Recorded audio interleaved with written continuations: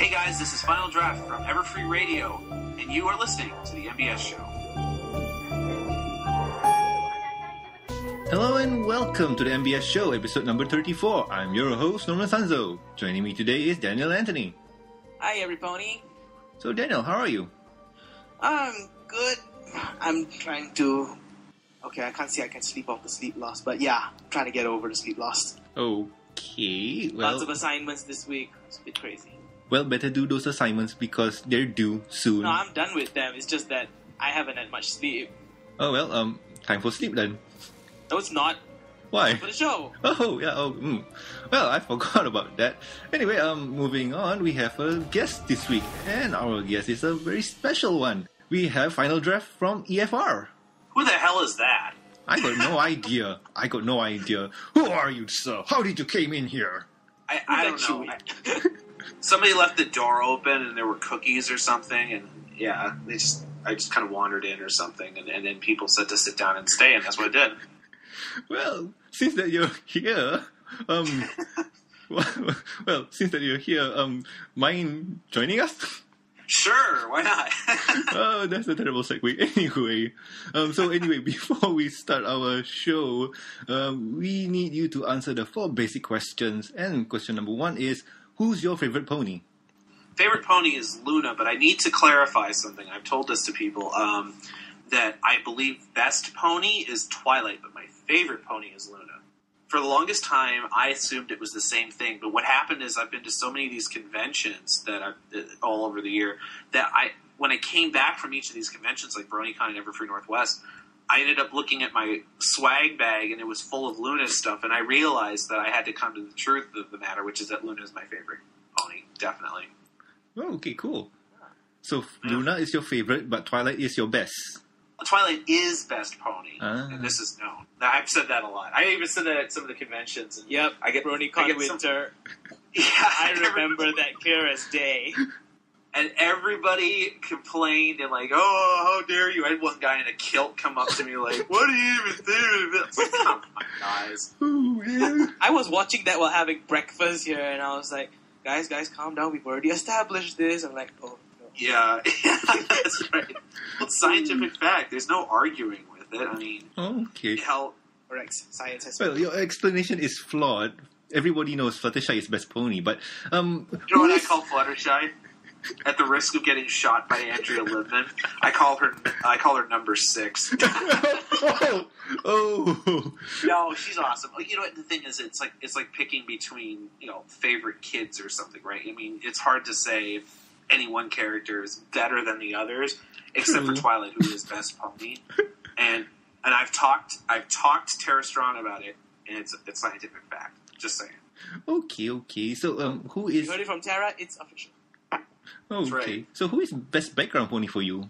Best background pony. Um, I really like Vinyl Scratch. I just like her design. I mean, and I think the thing with background ponies is that a lot of their characterization is based on what the fans make of them. I know a lot of people would say derpy, but I, I'm gonna say I'm gonna say Vinyl Scratch just because she's kind of awesome. Well, true. Um, for me personally, I would say Derpy because I don't know why. We, well, could be the mascot of the show, but Derpy is one of my favorite because she's just awesome, and I think the fan base built her to be awesome. Yeah, I have nothing against Derpy. Um, I think that uh, though, like if, if if I had to pick one of all of the background ponies, um, I think Vinyl Scratch is clearly like the most, uh, you know, the, the one that stood out the most. That you know, somebody when they were designing the layout artists or whatever, when they were designing the you know the character for that five second scene originally, um, they put in they put in the thought to make her look as awesome as possible. So I And, like uh, this If I'm not mistaken, she is the first pony to actually be acknowledged. I mean, like with her fan base name. Yeah, well, they, they acknowledged her as uh, DJ Pone 3, but then I think Hasbro is starting to come out with some merchandise, like uh, some Vinyl t shirt Scratch. or whatever that they announced that, that says Vinyl Scratch Final on Scratch, it. yes. I mean, she is awesome in that way. Like, first, her pony name, DJ Pone 3. Oh, the fandom didn't like DJ Pone 3. Oh, that's her stage name. Her official name is Vinyl Scratch. And Hasbro's been listening in. Oh, we'll use that. Well, I hope they keep listening because it's such an obvious marketing opportunity. Like I saw Toys R Us in the states was going to start selling metal lunch boxes with uh, with vinyl scratch on them, and it was like six bucks for one of those, and that's brilliant. They'll sell out in a minute. So hopefully they, they, they keep making merchandise like that because they've been really slow to release uh, Brony marketed merchandise. But maybe maybe they'll get with the program. Yeah, true, true. Yeah. Well, basically, the, those are not the real four questions because we got sidetracked because of ponies. Yep. Because of ponies. Indeed. So, um, the second official question is, um, what's your favorite episode? Ooh, um, hmm. Well, for season one, it was definitely Party of One, and that's because Pinkie Pie goes absolutely crazy, and it was it was what completely convinced me that you know that the show was not just something that could appeal to little kids. I mean, just Pinkie Pie just going absolutely insane.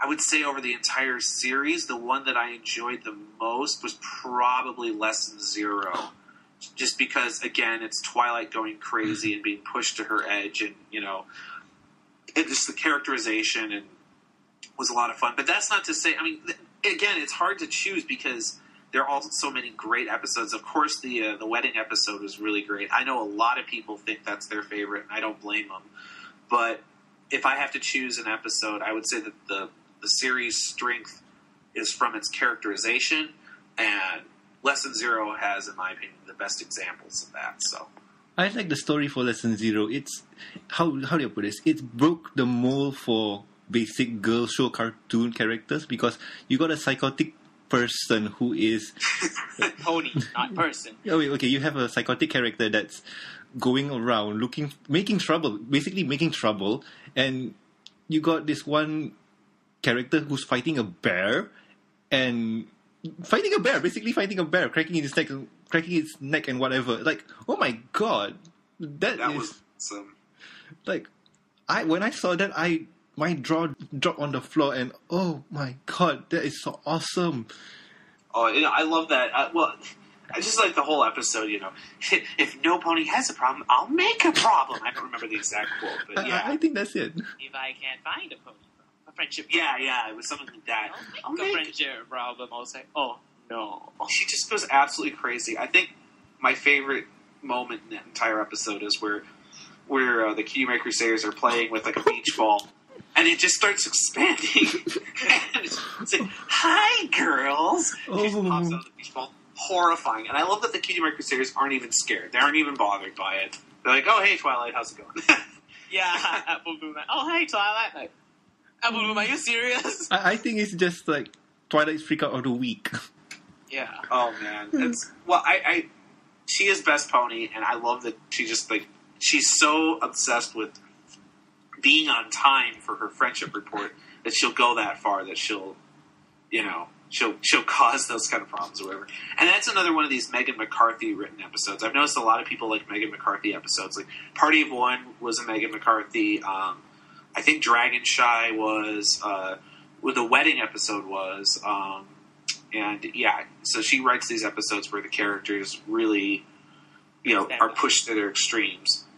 So yeah, So um, I actually had a lesson. Zero, I actually watched Lesson Zero at a really great time because we were packed with assignments in university, and then that was the particular week that Lesson Zero came out, and I was like, I can relate to this so well right now.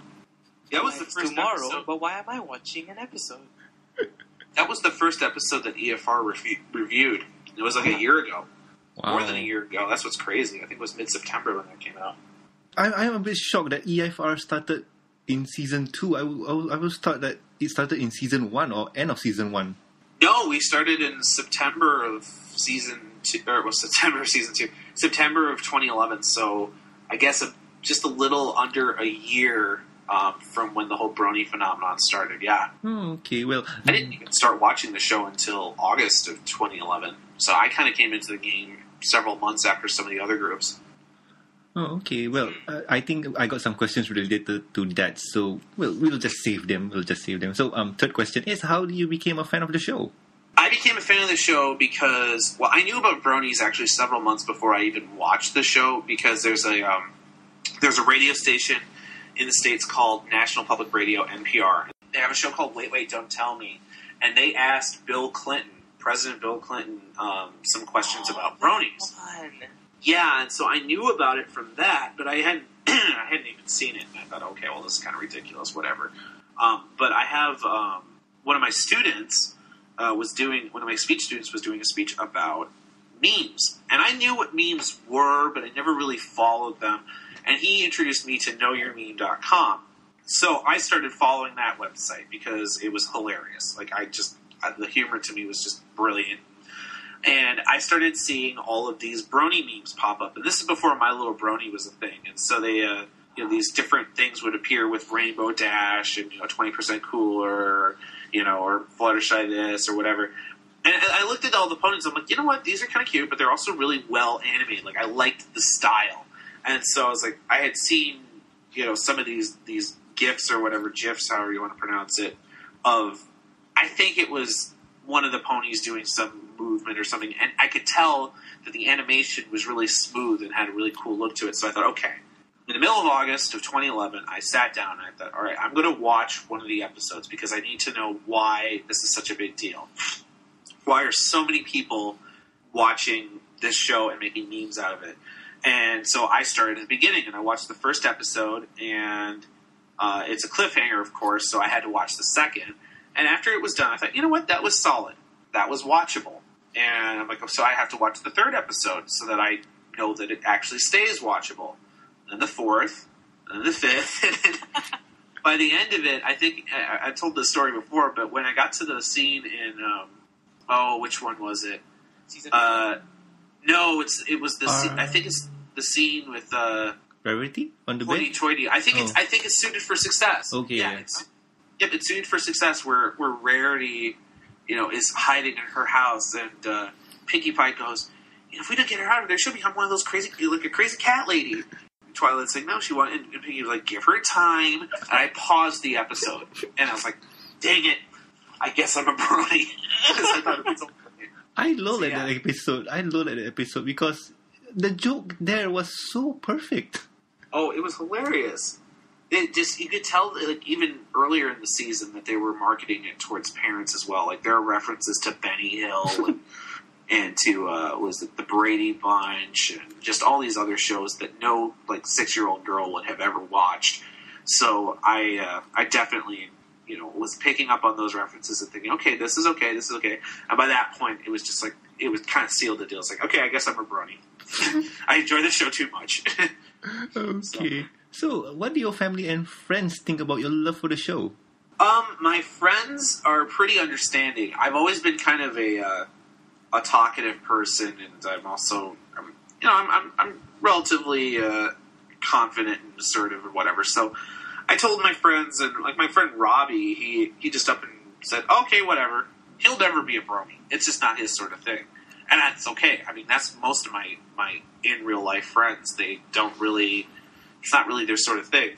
And so I told them about it, and I said, "Okay, it's My Little Pony." And usually, I get like the kind of weird look. They'll say, you know, they'll give me one of those kind of weird sideward glances, and they'll say, "Listen, it's different than the '80s cartoon because most people, when they hear the brand My Little Pony, think of the '80s, you know, and they think of, you know, kids playing with the toys and brushing the hair and sparkly princessy stuff. And yeah, there's some of that in the show, of course, but it's not. Um, that's not what the show is really about. And so I explained that to them, and most of my friends are okay with it. My brother kind of thought it was hilarious. He he, he went on YouTube when I was explaining it to him, and he just typed in My Little Pony. He says, "Look at that."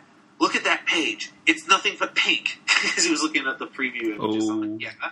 And, and again, I mean, it's not his sort of thing. Um, my parents are actually pretty cool about it. Um, they're very supportive of what I do with EFR and uh, the conventions and all that. Uh, my mom is actually an artist. She did the uh, the book that's in the center of the Traveling Pony Museum. The uh, the book Twilight's book, the hand handed one. Yeah, Awesome. she's not.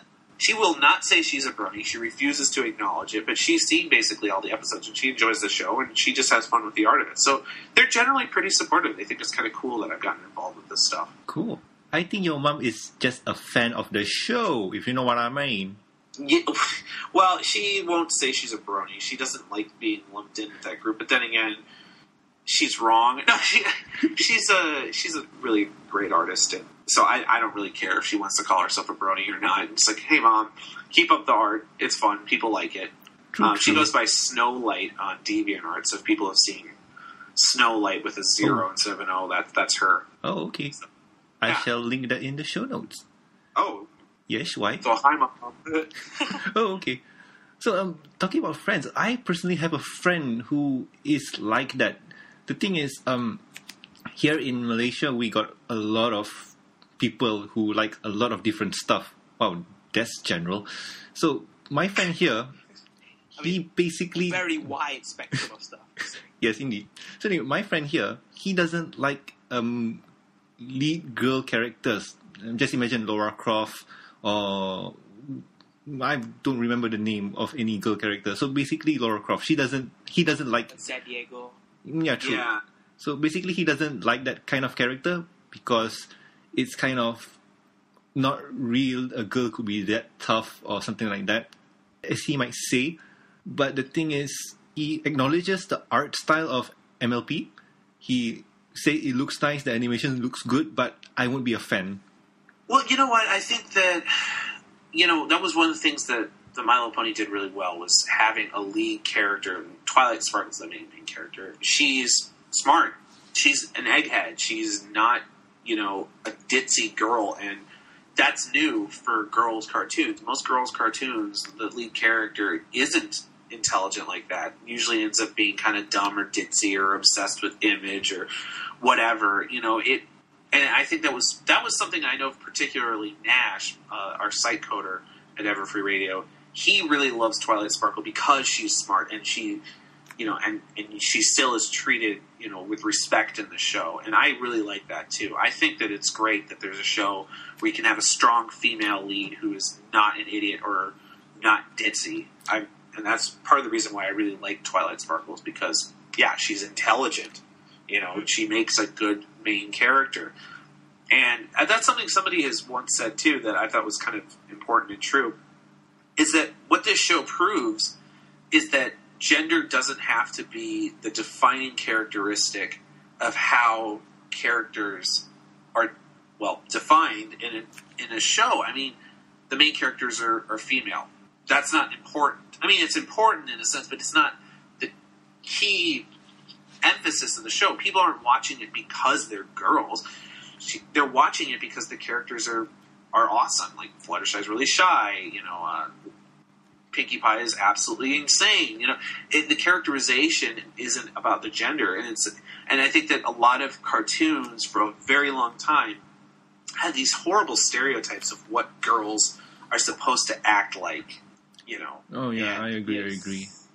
and it was really just shallow and materialistic and, and stupid and and Lauren Faust did an amazing job of just completely removing that from this program and uh, and I talked to her about that at BronyCon in June. I said, you know, this is I think the defining reason why this show is amazing is because you've redefined what you know a lead female character can be. That had nothing to do with the question you asked, did it?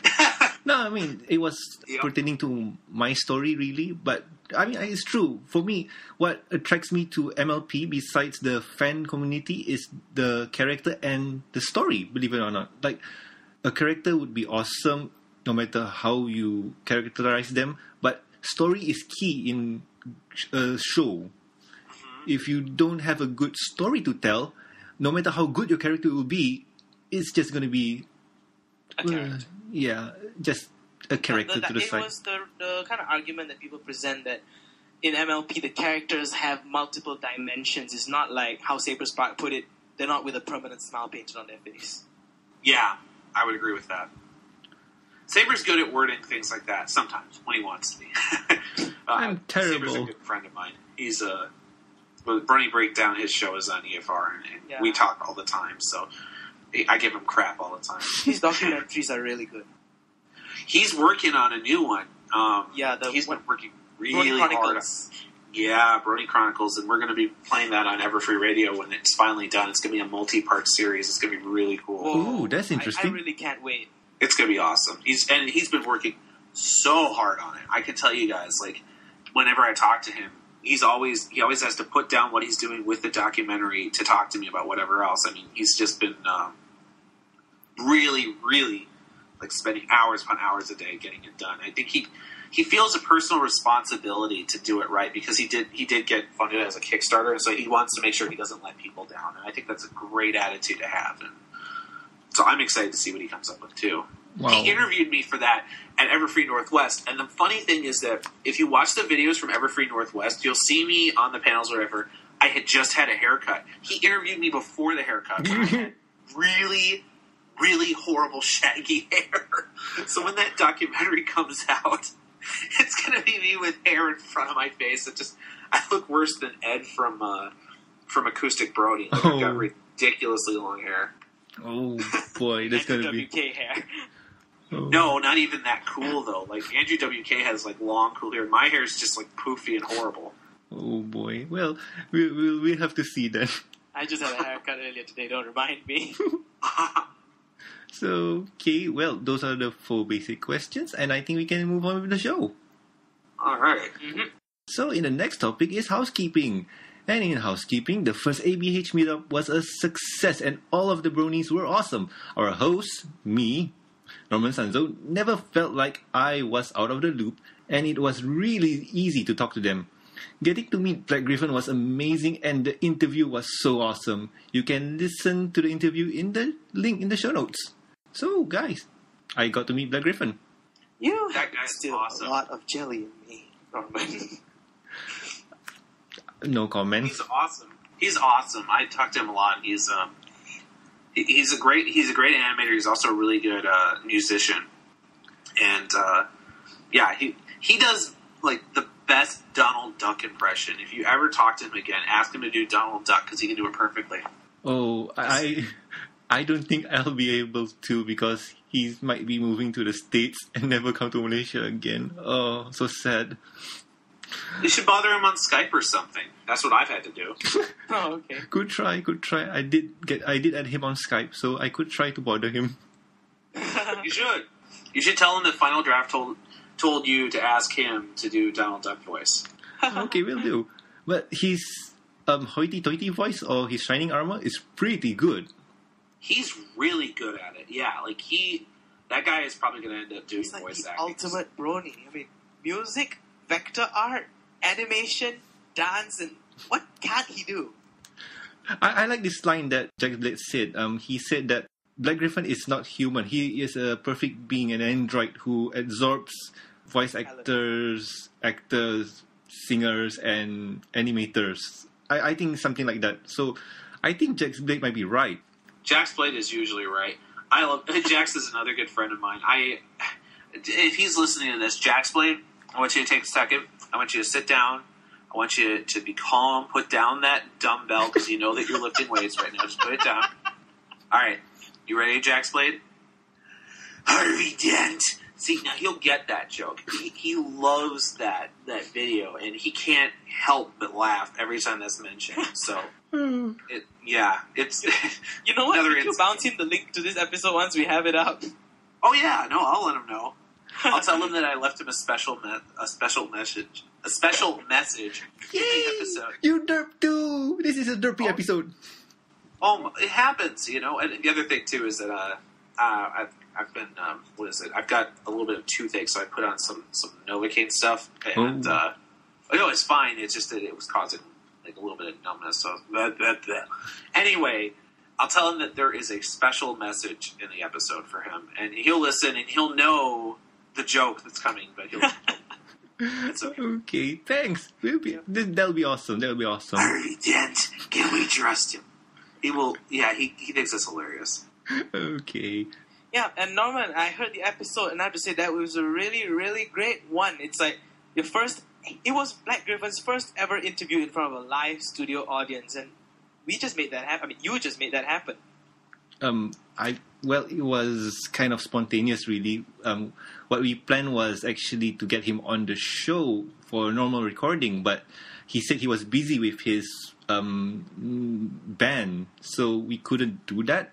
So basically, what we had to do was, Go to him. yeah, basically, if you can't get him on, you go to him. And um, but you said that you know all the time that we're probably not ready for a live show because of the way we derp. You carried that episode really, really well. Uh, thank you, but I had a lot of bronies to help me. You know what the thing is, though, with any kind of live performance sort of thing, you just have to come to terms with the the fact that you're going to derp. It's going to happen. Just and you just keep moving.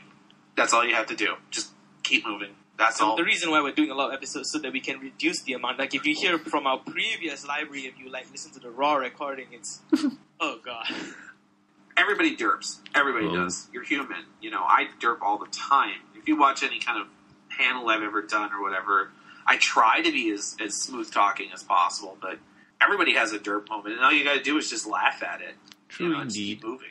When you derp in a live audience, it's kind of you have to admit it that you suck and move on because well, that's what I did. If you if you guys notice what I did, Yeah. I said that I can't do a live show. I basically bashed myself in, but hey, whatever. it worked. Yeah. So anyway, let's move on to the next topic. And the next Sure. topic is news time. So in today's news time, we have brand licensing in Europe features Alicorn Twilight. Brand licensing Europe posted a picture on their Twitter promoting Furby. What's striking about the picture is a picture of Alicorn Twilight in the background. Either some guy was just messing around with the layers in Photoshop, or we have a huge Twilight fan working there. Pictures can be found in the show notes. So, guys, Alicorn Twilight, what do you think? I think the branding department didn't know what they were doing. Honestly, that's that's the sort of thing that you know doesn't just like if it was something down the line that was going to be you know seriously you know a part of the show or something, it wouldn't be in their vector folder. They wouldn't you know the uh, the branding or the guys who developed the uh, the banner or whatever. they aren't going to have access to that sort of stuff. So I think what happened, honestly, is that they said, "Hey, we need you know, Cute. Twilight standing in this pose, and somebody got lazy and just slapped something together. Or, alternatively, someone decided to do that and see if anybody noticed. Funny enough, the tweet is gone. Seriously, the tweet is gone. No link for the tweet. Seriously, Oh. I, I would have added in the show I notes. saw that and they didn't want people to guess. Honestly, Hasbro's on top of this stuff. If they see something like that and they think it's going to, like, somehow cause confusion, they will get rid of it. Hmm. But I think bronies will blow this out of proportion. Uh, we're bronies. We're not blowing out of proportion. I just find it funny. I think it's hilarious, and I would, I bet that that banner, you know, if somebody found that on eBay, it would go for a lot of money. And I got Twilight. What's not to love? It's like we just had a new princess in town. She doesn't Oh, need wings; she can teleport wherever she wants to go. Jeez. oh God! This just reminded me of something. Friendship is witchcraft. Right? You know how Twilight wanted to be a princess? Oh yeah. Oh, well, looks like her dream came true. Okay, anyway, let's move on to the next news topic. Um, Daniel, you want to take this? Yes, and ladies and gentlemen, fillies and Gentle Coat season three has been announced. So after months of waiting, the date for season three is announced. Hub's Facebook page they put up a teaser picture announcing big news coming tomorrow. Every pony, and when they mention every pony, you know it's for us bronies. Somehow, someone at Entertainment Weekly thought we bronies had waited long enough, so they announced it before the Hub could. Oh, okay, I didn't know about that, but yeah. The date of the premiere of season 3, mark your calendars, folks. The date of the premiere of season 3 will be on the 10th of November, so mark your calendars, get your DVR ready, cancel any plans you have on that day, and make sure you pay your internet bills if you're here in Malaysia streaming it, because season 3 of MLP FIM is starting. And you can find the picture that the Hub posted in the show notes as well as a link to the Entertainment Weekly. You can find the leaks in the show notes. Well, it's not really leaks. It's just well, okay. I was trying to make a pun. Oh, Fail at that. I was just trying to make a pun. Because we always say links can be found in the show notes. Links can be found in the show notes. So it's like leaks can be found in the show notes. oh, oh. It's a Okay. fail do pun. you If see you how, have to do you see it, how we fail linked pun. that together there? Do you see that? Because make, Oh, make, you. make a note of it, all right? Just terrible. we, I hate those those puns. I don't hate those puns, but those puns are ridiculous. Oh man, I knew that. Okay, I knew for a long time when season three was going to come out because I hear things, and uh, and it was really torturous. Like about a couple months ago, when people are saying it's got to come out in September, I'm thinking to myself, no, it doesn't. I'm just glad they finally announced it because it was getting kind of close. And most of the time, shows like this will announce when they're when they're beginning way earlier than when Hasbro did this. I guess they were just trying to build up the hype or something. Well, hype has been built. I, I'm pretty hyped because I, I've been noting something, um, a pattern that Hasbro's been doing with My Little Pony. The way they're marketing it is not the way that they would market it normally for other shows. Yeah, Because no, if- they, they definitely are treating it differently because they know it's something special. I do think um, one thing I- I think is kind of well, I don't even know where I was going with that. Never mind. yeah, from my opinion, I see the way that they're marketing MLP right now is more to an adult style of marketing. Yeah, getting people hyped up after a hiatus is pretty much quite the adult thing to do. Yeah, it's true because kids won't be interested. Like, You'll watch anything on TV. yeah, Which is how one of our friends Zen became a brony because he just switches on the TV and oh, let's see what's on. All right, let's watch this. Back then there were no downloads, no YouTube or Hulu or Netflix and stuff like that. true indeed. I have to say, I'm pretty excited. Like when they announced there was an announcement coming out next month. wow, announcement for announcement. Wow, Hasbro, that's awesome. Um, the only Saturdays that would be available is on the 10. Give me a second. I need to open my calendar and see when. It will be on the 10th, 17th, and 24th. My prediction would be on the 20, um, on the 20, on the 17th. Sorry. mine was on the 17th or the 24th actually. I didn't expect 10. Yeah, I mean, I was not expecting 10. But if you when I think heard about 10, it, I was like, alright guys, all of you Malaysians, who here has the fastest internet?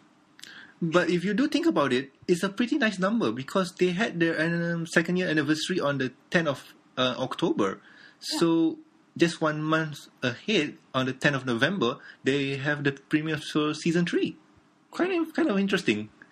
Or maybe I'm looking forward to it, but it's going to be just like what happened to me last year. Um, you guys, everyone knows because I keep mentioning it that I'm a debate coach, Oh. and all of our debate to- tournaments are on Saturdays, which means that what's going to happen is I'm going to get home from the debate tournament and have to go straight to watch the episode because all of my friends, everybody online will have already seen it, and they'll already know what's going on with it, and I won't have seen it yet because I'll have been at a debate tournament all day. Oh. It happened every week last year. Oh, it, it was torture because I'd be sitting at the debate tournament thinking, "Oh my god, this show!" no, I will say that uh, last year it was really shameless. I, I, I when I judge debate rounds, I uh, occasionally will throw in brony references in my ballots. oh god, Like one Oh. time, I said like something. If you had used uh, twenty percent more evidence on this side, it would have been cooler. Stuff like that. Mm. I've, I've also I went into one round one time, one debate round, and the whiteboard in the classroom was covered in ponies. Not my doing, just covered in ponies. I was like, "This is good." There was like a derpy and a pinkie pie, and I'm like, "I'm all right with this." Was one of the sides trying to bribe you or something? no, I don't. Nobody knew at the time. oh, okay. Nobody knew that I was a brony at the time, and I mean, this is before EFR really was anything big, and I. Uh, I, my students, it took them a while to figure out that I was final draft. That was fun. And then when they found out, that was really fun because I just denied it. They're like, "So final draft." I'm like, "Who's that?" Uh, and then yeah, because a couple of my students were bronies. So anyway, wow, awesome. So Yeah, I remember when I first read, I first read about your name somewhere. I'm like, why are they capitalizing final draft? yeah. Well, I had to come up with a, a screen name, um, or I should say, a, a pony name that, that kind of reflected what I do. And I'm I'm a writing editor in a sense. I mean, that's a lot of what I do with coaching. And it's how I write papers, so that's where the name came from. And uh, yeah, I don't do rough drafts. I do final drafts. I just kind of go through paragraph by paragraph and edit and edit and edit and edit. I'm kind of Oh. insane like that. Let's move on to the next topic. And the next topic is a fun one. It's MLP Facts of the Week. I kind of like this because we get to learn about pony stuff. So, guys, did you know in the earlier versions of My Little Pony, Scootaloo and Cheerilee were sisters? Oh, have you seen G3.5? Oh, you God, no. It's, oh, God. I'm pretty sure it's Cheerilee bringing Scootaloo over to some place, and it's it's like demons spawn. I I call that even... G3.75 because G3.5 is the chibi, and then after that came the newborn cuties, which was oh, that was terrible. It was awful. I one time tortured myself and watched a full episode of it. Ugh. I think Saber Spark's computer crashed when it played that episode. Not sure who. Mine actually, my YouTube hanged, and I was like, "Great, that's a message from God telling me to stop watching." I think it was your computer trying to spare you. Yes, it hmm. probably was. Or my That or itself. Well, that was not the reaction I was looking for. But anyway, did you know in A Friend in Deed, Rainbow Dash reads a Daring Do book while at Twilight Sparkle's library? Makes sense. yeah, I noticed that. I think the layout artists are aware of, you know, they, they- they know the other episodes that are going on. I bet if we watch closely enough in season three, we'll see her reading more Daring Do stuff. I mean, I hope. Okay, here's what I said in previous episodes for season three. I hope that somehow the creators create an episode where Daring Do became a movie and Rainbow Dash is obsessed with meeting the actress for Daring Do. I mean, that would make a fun episode. That would actually be a good. I, I, I can see that being a decent episode. You should write that as a fanfic. Oh, I I'm terrible at writing, but hmm, if somebody does listen to the show and want to do it, you have my blessing. You know what? I, I'll say this: I Final Draft has started and never finished a fanfic. Um, I actually wrote half of it of a fanfic uh, called "Where Was Luna," and it explains where Luna was the entire time during uh, the wedding episode. Oh, And she was not playing video games. I don't care. what you think. no, but like the idea is that you know, I, I it- it's what everybody wanted to know. Jason Thiessen joked that he thought she was on the moon. Um, I think that, uh, and so I wrote. I was writing this fanfic. I have the structure of it, um, but I never got around to finishing it. But I could see writing that as an episode where Rainbow Dash wants to meet the actress who plays uh, Daring Do. Yeah, I can see that, Hmm. and it, it could be something like you know she. It, it almost writes itself. The- The actress is, uh, you know, she thinks that the actress is just like Daring Do. You know, must be you know really brave or whatever. It turns out that the actress isn't. You know, is just an actress or something like that. And Rainbow Dash learns, you know, not to, you know, take everything at face value or something. I don't know. I mean, it could- it And then they're like stunt ponies who does her job. could be. I don't know, but that could be done. That I can see that working really well. Did you know that Trixie and Chrysalis were both voiced by Kathleen Barr? I did figure that out in, while I was watching it because when I was first watching it, my reaction is, I wonder if this isn't Trixie. I mean, if this is Trixie, you know, who's hiding and pretending to be Crystal Cadance. or uh, Cadance, yeah. And, I was thinking that the whole time. I'm like, and I, it didn't make a lot of sense to me, but it, it kind of makes sense now that uh, you know when you think about it because it's the same voice, you know. So Oh, I get that instinct. Wow, you could get all that from that, really? Well, I heard. I, I, I mean, I when I listen to these shows now, or when I watch these shows, I really listen for the voices because I like to know how the characterization is done. I like to kind of hear how the actors or actresses, you know, are working. And so when I was listening to the villain, the villain sounded a lot like Trixie to me, and I was thinking, I wonder if this isn't Trixie, or you know, I could tell it was the same voice actor. I just, in the end, you know, obviously it wasn't Trixie, but you know, it's the same. It is the same voice. It's Kathleen Barr, so you know, yeah. Okay, cool. Um, there's no proper segue, so did you guys know that Rainbow Dash is the only member of the mane six to have a single symbol cutie mark? yes. Huh. I never really thought about that. I'm obsessed with cutie marks. I love the cutie marks of the show because basically when uh, everyone is coming to me like, Daniel, try drawing ponies, try drawing ponies, and I draw the pony halfway, I'm like, know, forget this. I'm just gonna do the cutie mark. Let's move on to the next topic. And the next topic is guest time. So in today's guest time, we have Final Draft on EFR. So, hey there, Final Draft. Hi. So, so um, mind introducing yourself to the people who might not know you? Yeah. Um. Well, from Final Draft, I am one of the uh, the uh, founding members and and and core staff members of Everfree Radio. I'm actually the uh, the network director and uh, the primary host for Everfree Radio. Awesome. So I do all sorts of Everfree Radio stuff. I also, you guys have probably seen me at one of the conventions. I'm usually, uh, I've been the uh, the panel moderator for the voice actor conventions at BronyCon, both June and January, Everfree Northwest, Camelot Gardens, and I'm also going to be moderating panels at uh, Equestria LA. Oh, and I also moderated a few panels at uh, Midwestria, so you guys have probably seen me there. I'm the hunched over guy with the beard. Awesome, awesome. Mind answering some questions for us? sure. Okay, so earlier you mentioned a date for how Everfree Radio got started. So, but how did it got started anyway? Yeah, okay. Everfree Radio started in September of 2011. Um, as soon as like I became a Brony in about August of 2011, and so I started going to Equestria Daily because you know back then that was really the only main site that you could go to to you know participate in the fandom, and they had an IRC chat room, and so I was in the IRC chat room, uh, and I'd hover around there while I was doing other things. Um, people who were ever in that chat back in those days probably knew me as Cesco, C E S C O. That was my old screen name. I got that name from a, a pair of safety glasses, actually. it stands for Chicago Eye Shield Company. But anyway, I hover around the uh, the Equestria Daily chat, and there were some regulars in the EQD chat that I would talk to often, and uh, one of them was this guy Skipsy, who was an artist. And Skipsy at the time was making clean art, but he was uh, he would have a, he had a live stream he did.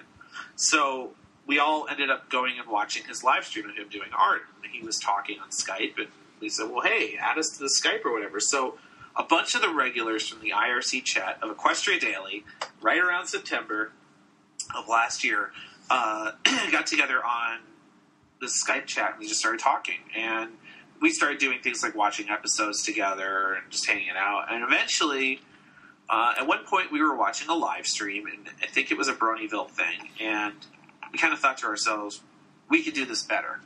That was kind of the way that we approached it. Was like we could do this better. And you know, I'm a speech debate coach, so I know how to do that. I know about broadcasting on that end. Uh, one of the people that was in our chat was uh, he went by Discord at the time with a Q, but that was eight track. He just said, "Hold on, guys, just hold on, just a second. And five minutes later, he came back with EverFreeRadio.com, and we kind of grew from there. So, Whoa. yeah, well, it wasn't it wasn't as nice as it is now. It was just this placeholder. He, we came up with the name Everfree Radio because we wanted to be like from an unnatural perspective. It seemed like there were a lot of you know different groups in the fandom that kind of had the old boys club. You know, you had to be in with Equestria Daily or Bronyville, whatever, to be involved or whatever. And we wanted to say, okay, we're going to come from an outside perspective. And well, in the show, the outside perspective is from the Everfree Forest. So that's where we got Everfree Radio. And then since then, we, uh, you know, it started off just as a podcast, but then we started earlier this year talking to different shows, you know, different podcasts, and saying, well, hey, you know, we're trying to build a network like a like a TV station only online, and so now we're switching over to now Everfree Network because it's really closer to what we do. Um, so yeah, it's been a very long and interesting process, but uh, we started off as just a bunch of chat room nerds. Wow, that's most people don't know about. wow, that, that's really amazing. So, um, did you ever mention that Everfree Radio will be really that popular? Um, I think what the way I looked at it was that, I mean, because it's not just me doing Everfree Radio. I mean, we've got twelve people who work on it, but I think we all looked at it like we're just going to do it as good as we can, as well as we can, and we're going to do things right. And if that means that it's popular, then great.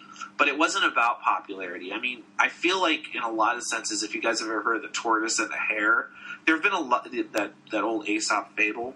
There have been a lot of opportunities for us to take shortcuts to get more viewership, but we've not done that because we feel like if we're going to do it, we're going to do it right. That was the way that I looked at the interviews that I conducted as well. Like we did an interview with Michelle Creber. I wasn't actually doing that interview, but uh, you know, or the interviews that we've done since then with you know Ashley Ball, you know Tara Strong, all, all the the VAs and whatever. It, it's just approach it like you're going to do your job right, and that I guess has gotten us to have some popularity.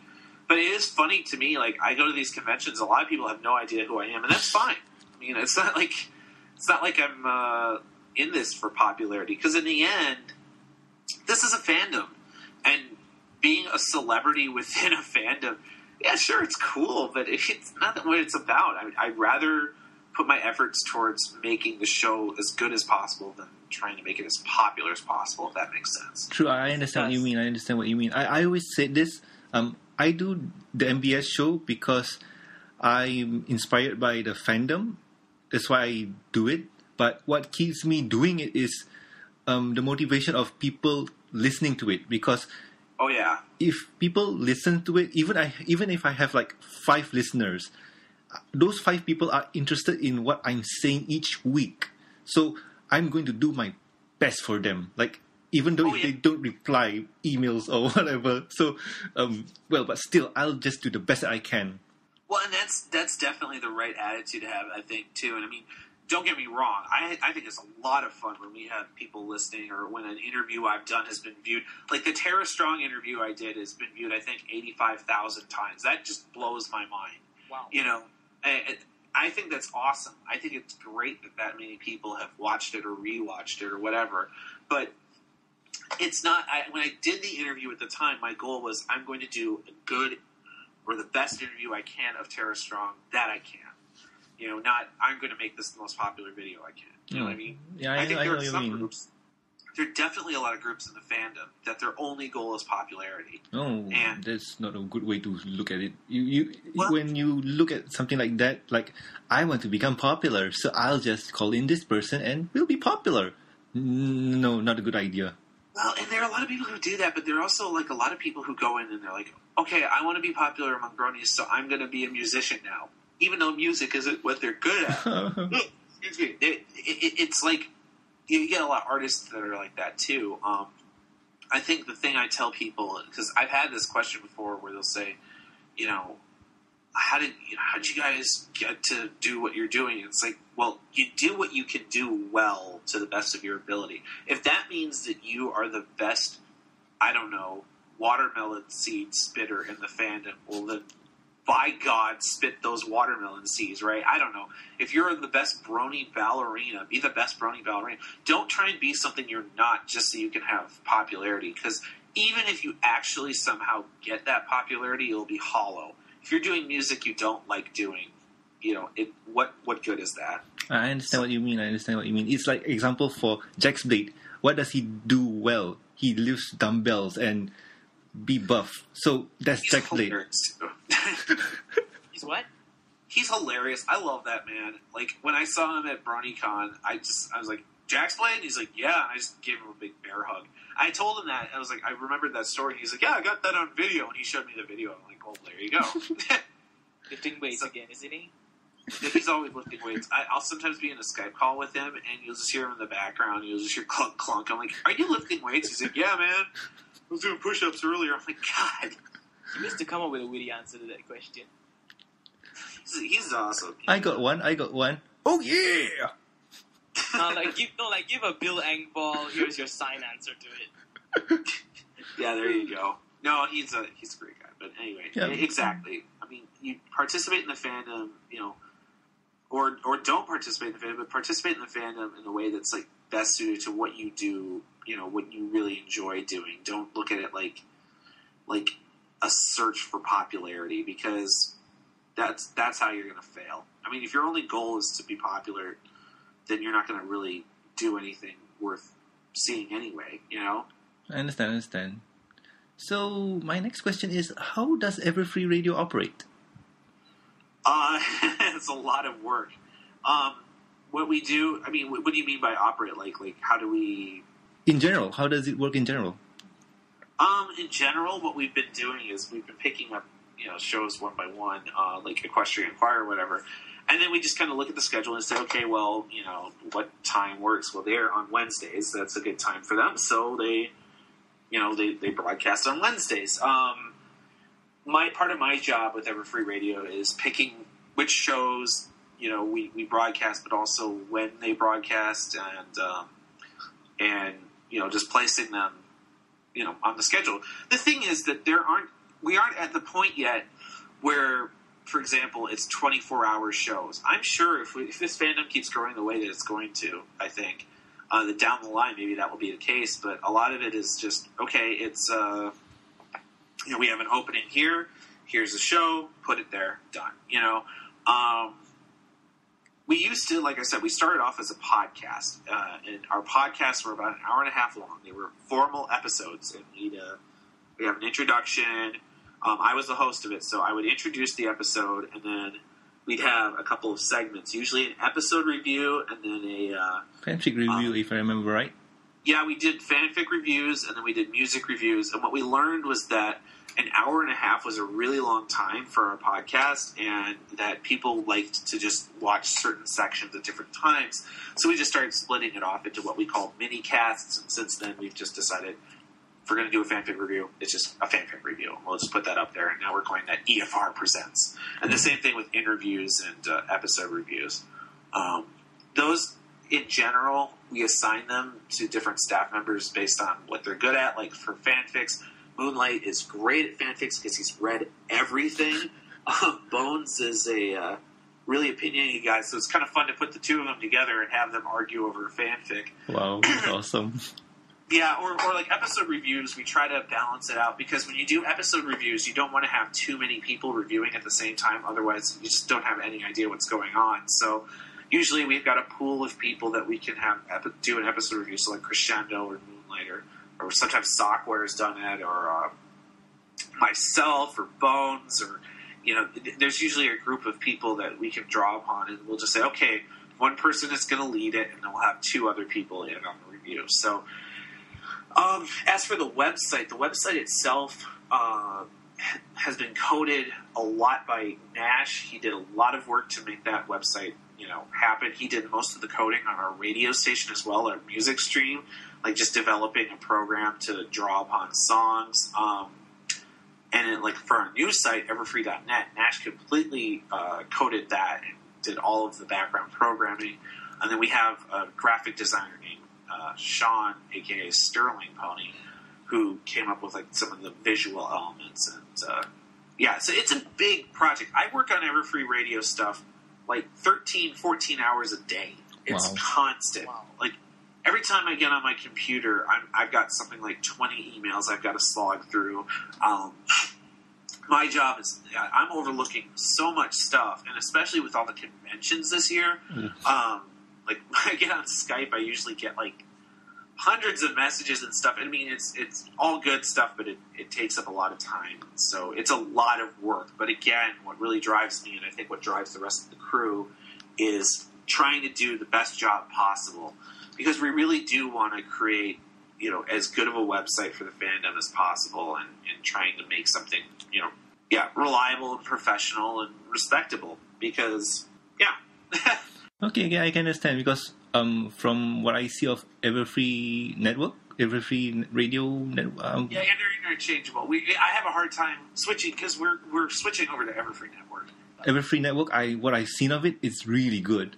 well it's almost done and in fact uh, probably by the time this episode airs that we're recording right now uh, it, it should start redirecting to efn um, EFR is kind of our brand.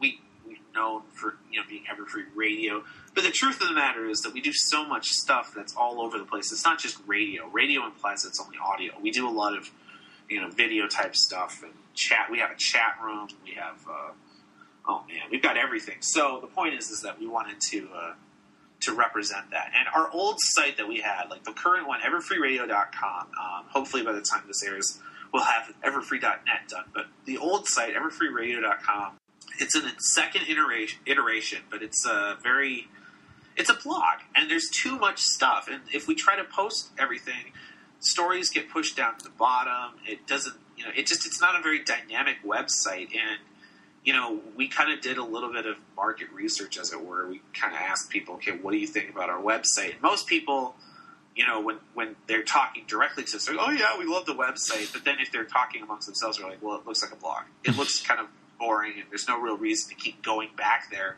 because when it does update, everything disappears or whatever. It's not very dynamic, and so mm-hmm. we decided to completely start over and build the site from scratch. And that's what everfree.net is so that you know it's it shows more information and it's more interesting for people to go to. Because it doesn't make sense to delude yourself. Like everfreeradio.com it's not a bad website. I mean it's a current website. I mean and it did its job but we're not just a podcast anymore and it just can't it can't handle all of the awesome that we want to put out there. So Okay, I can understand. I mean, like with progress, you need change, and to change, you need to move on.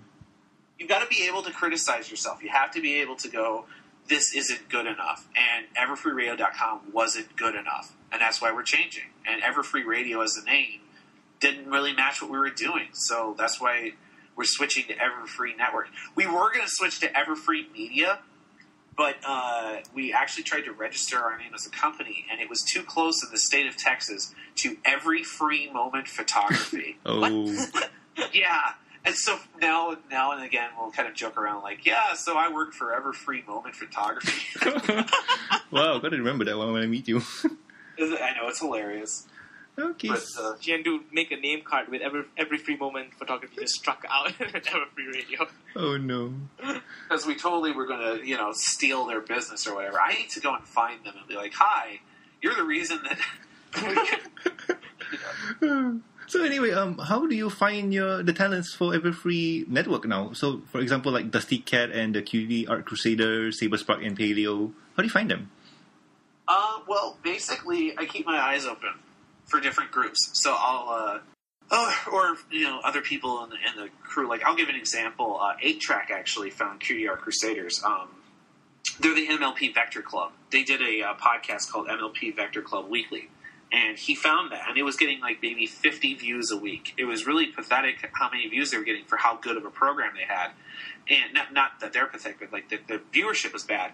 And so eight track came to me and said, "Well, hey, draft, there's you know this art program.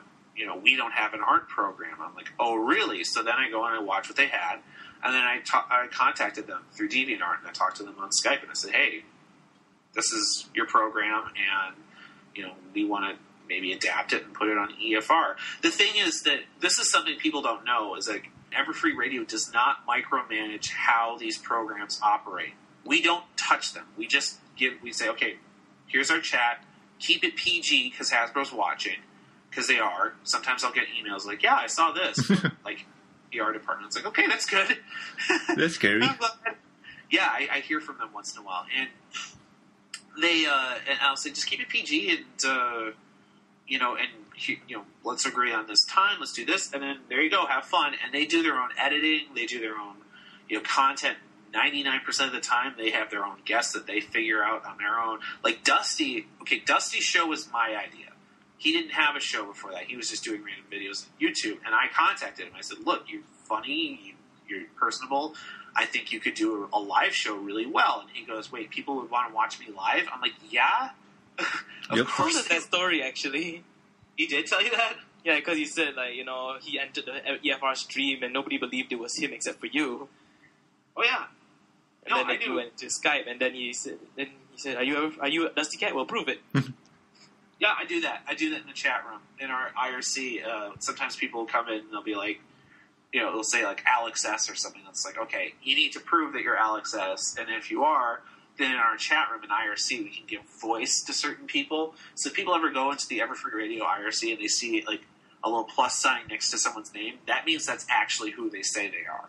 So like Ah. sometimes Living Tombstone will be in there, or Silva Hound, or we, we even had Sim Gretina in there one time, which was really cool. Wow. And I tell them, I'm like, prove it, prove it's you, because there's so many fakes. I was one time in a live stream with uh, somebody claiming to be John Joseco, and it was hilarious because as he's talking in our live stream, saying, you know, uh, you know, yeah, this is John Joseco, I'm working on art or whatever. I went and saw that John Joseco was live streaming at the same time. And I said, "Oh yeah, so how's that uh, that rarity you're drawing? Oh, it's pretty good." And you could tell he was drawing like a Twilight or something. It's like, yeah, bull, you're fake. And, and then they quit out. So yeah, we well, Wow. Dusty is one of those characters. You have to. I had to make sure it was actually him, and then I was like, "Yeah, by the way, you should do a show." He's like, "Really?" I'm like, "Yeah, do a show." So when he does his show, he gets his own guests. He sets it up, and I think that's the thing is when people see that we're broadcasting a show, they're like, "Uh oh, EFR took over a show." Dun dun dun. No, we didn't. We just broadcast it. They do their own thing. I always thought that you guys get the guests for certain shows, like for Dusty Cat. I thought you got Peter New for him. Well, sometimes I help out. Like if he want, he actually got Peter New himself. He talked to Peter New at a convention, and he actually arranged that himself. okay. Um, sometimes like if he says, "Hey, I really want to talk to Lee Tokar or something," and then he'll say, "Can you can you help me get Lee Tokar for the show or whatever?" I'll say, "Yeah," and I'll help out. But generally speaking, he finds his own guests. Like, and sometimes if I have an idea, like for example, uh, a couple weeks ago, he announced, or no, Saber announced on his show that uh, Lauren Faust was going to be at Equestria LA, and that was one where I knew that uh, that was happening, and they needed to make an announcement. Equestria LA did, and I said, "Well, okay, well maybe I can see if Saber can announce it." And then I'll come and I go and talk to Saber. I say, "Okay, well, hey." They're going to have Lauren Faust. Do you want to make this announcement? He's like, yeah, sure. And then he makes the announcement. So occasionally I'll like connect people, but I'm not going to say, okay, your guest next week is this. You will do this. You. I, that's mm-hmm. just way too much work and it's a waste of time. And plus, it would ruin the show.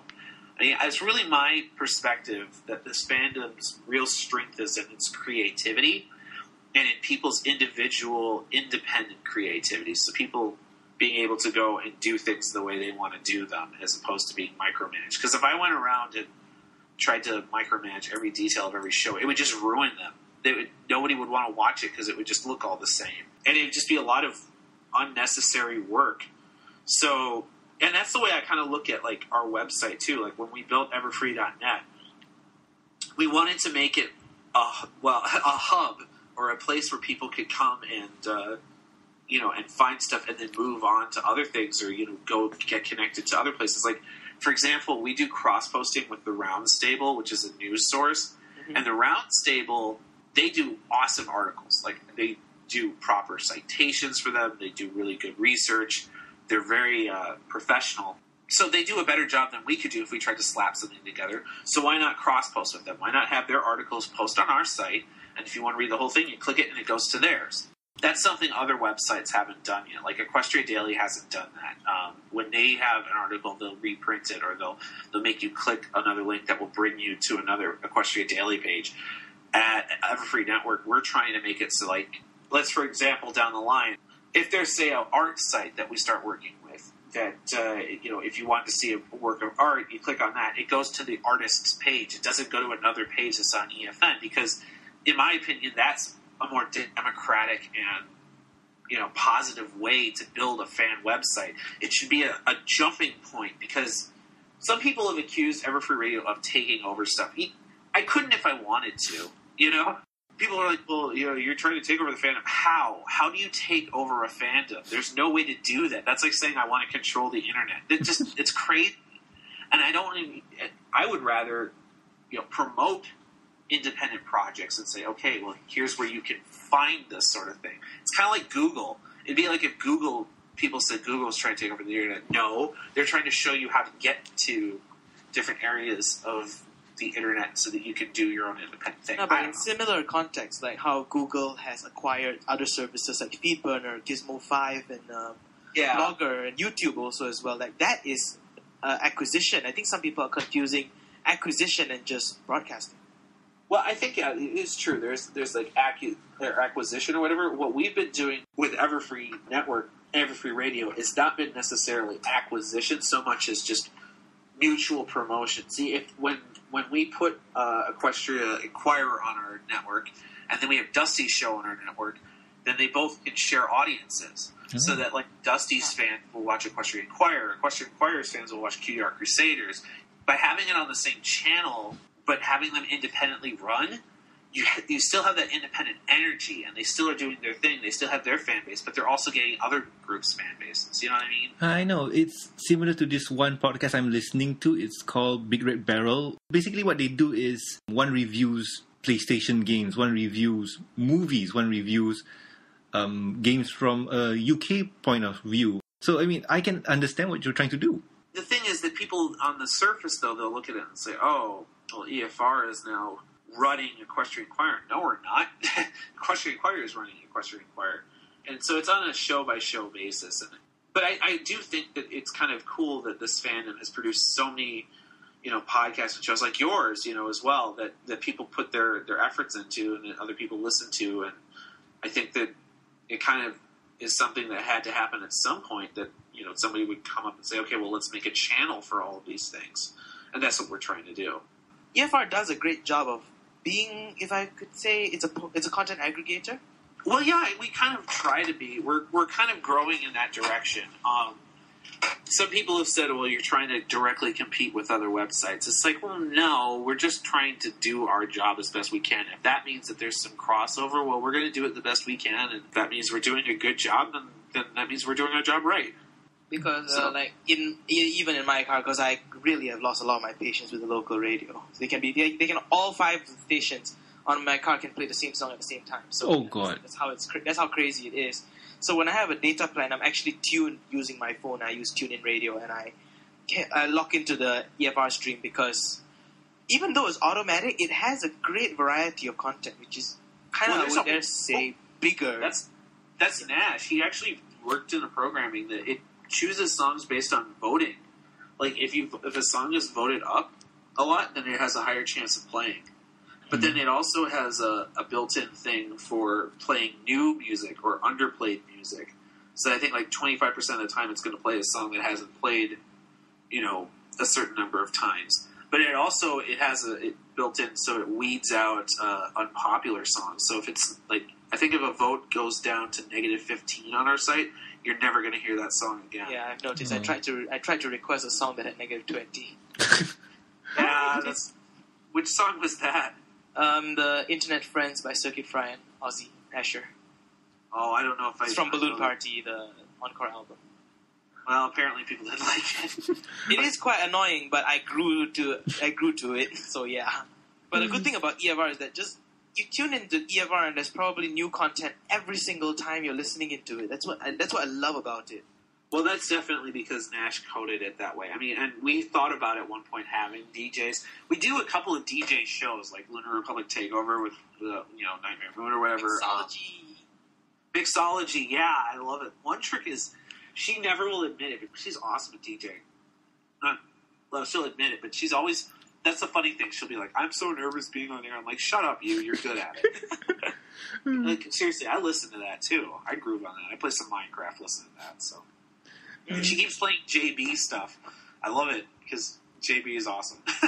okay, so uh, my next question is how do you find the guests and is it easy to get them on? it is not easy to get them on. How do I find guests? Well, I mean, you mean like the voice actors? Mm, Yeah, generally the voice actors. Well, I mean, basic thing is like when we started off, we're like, okay, well, we want to talk to the voices of the show. So who plays who? Okay, Nicole Oliver plays Princess Celestia and Cheerilee.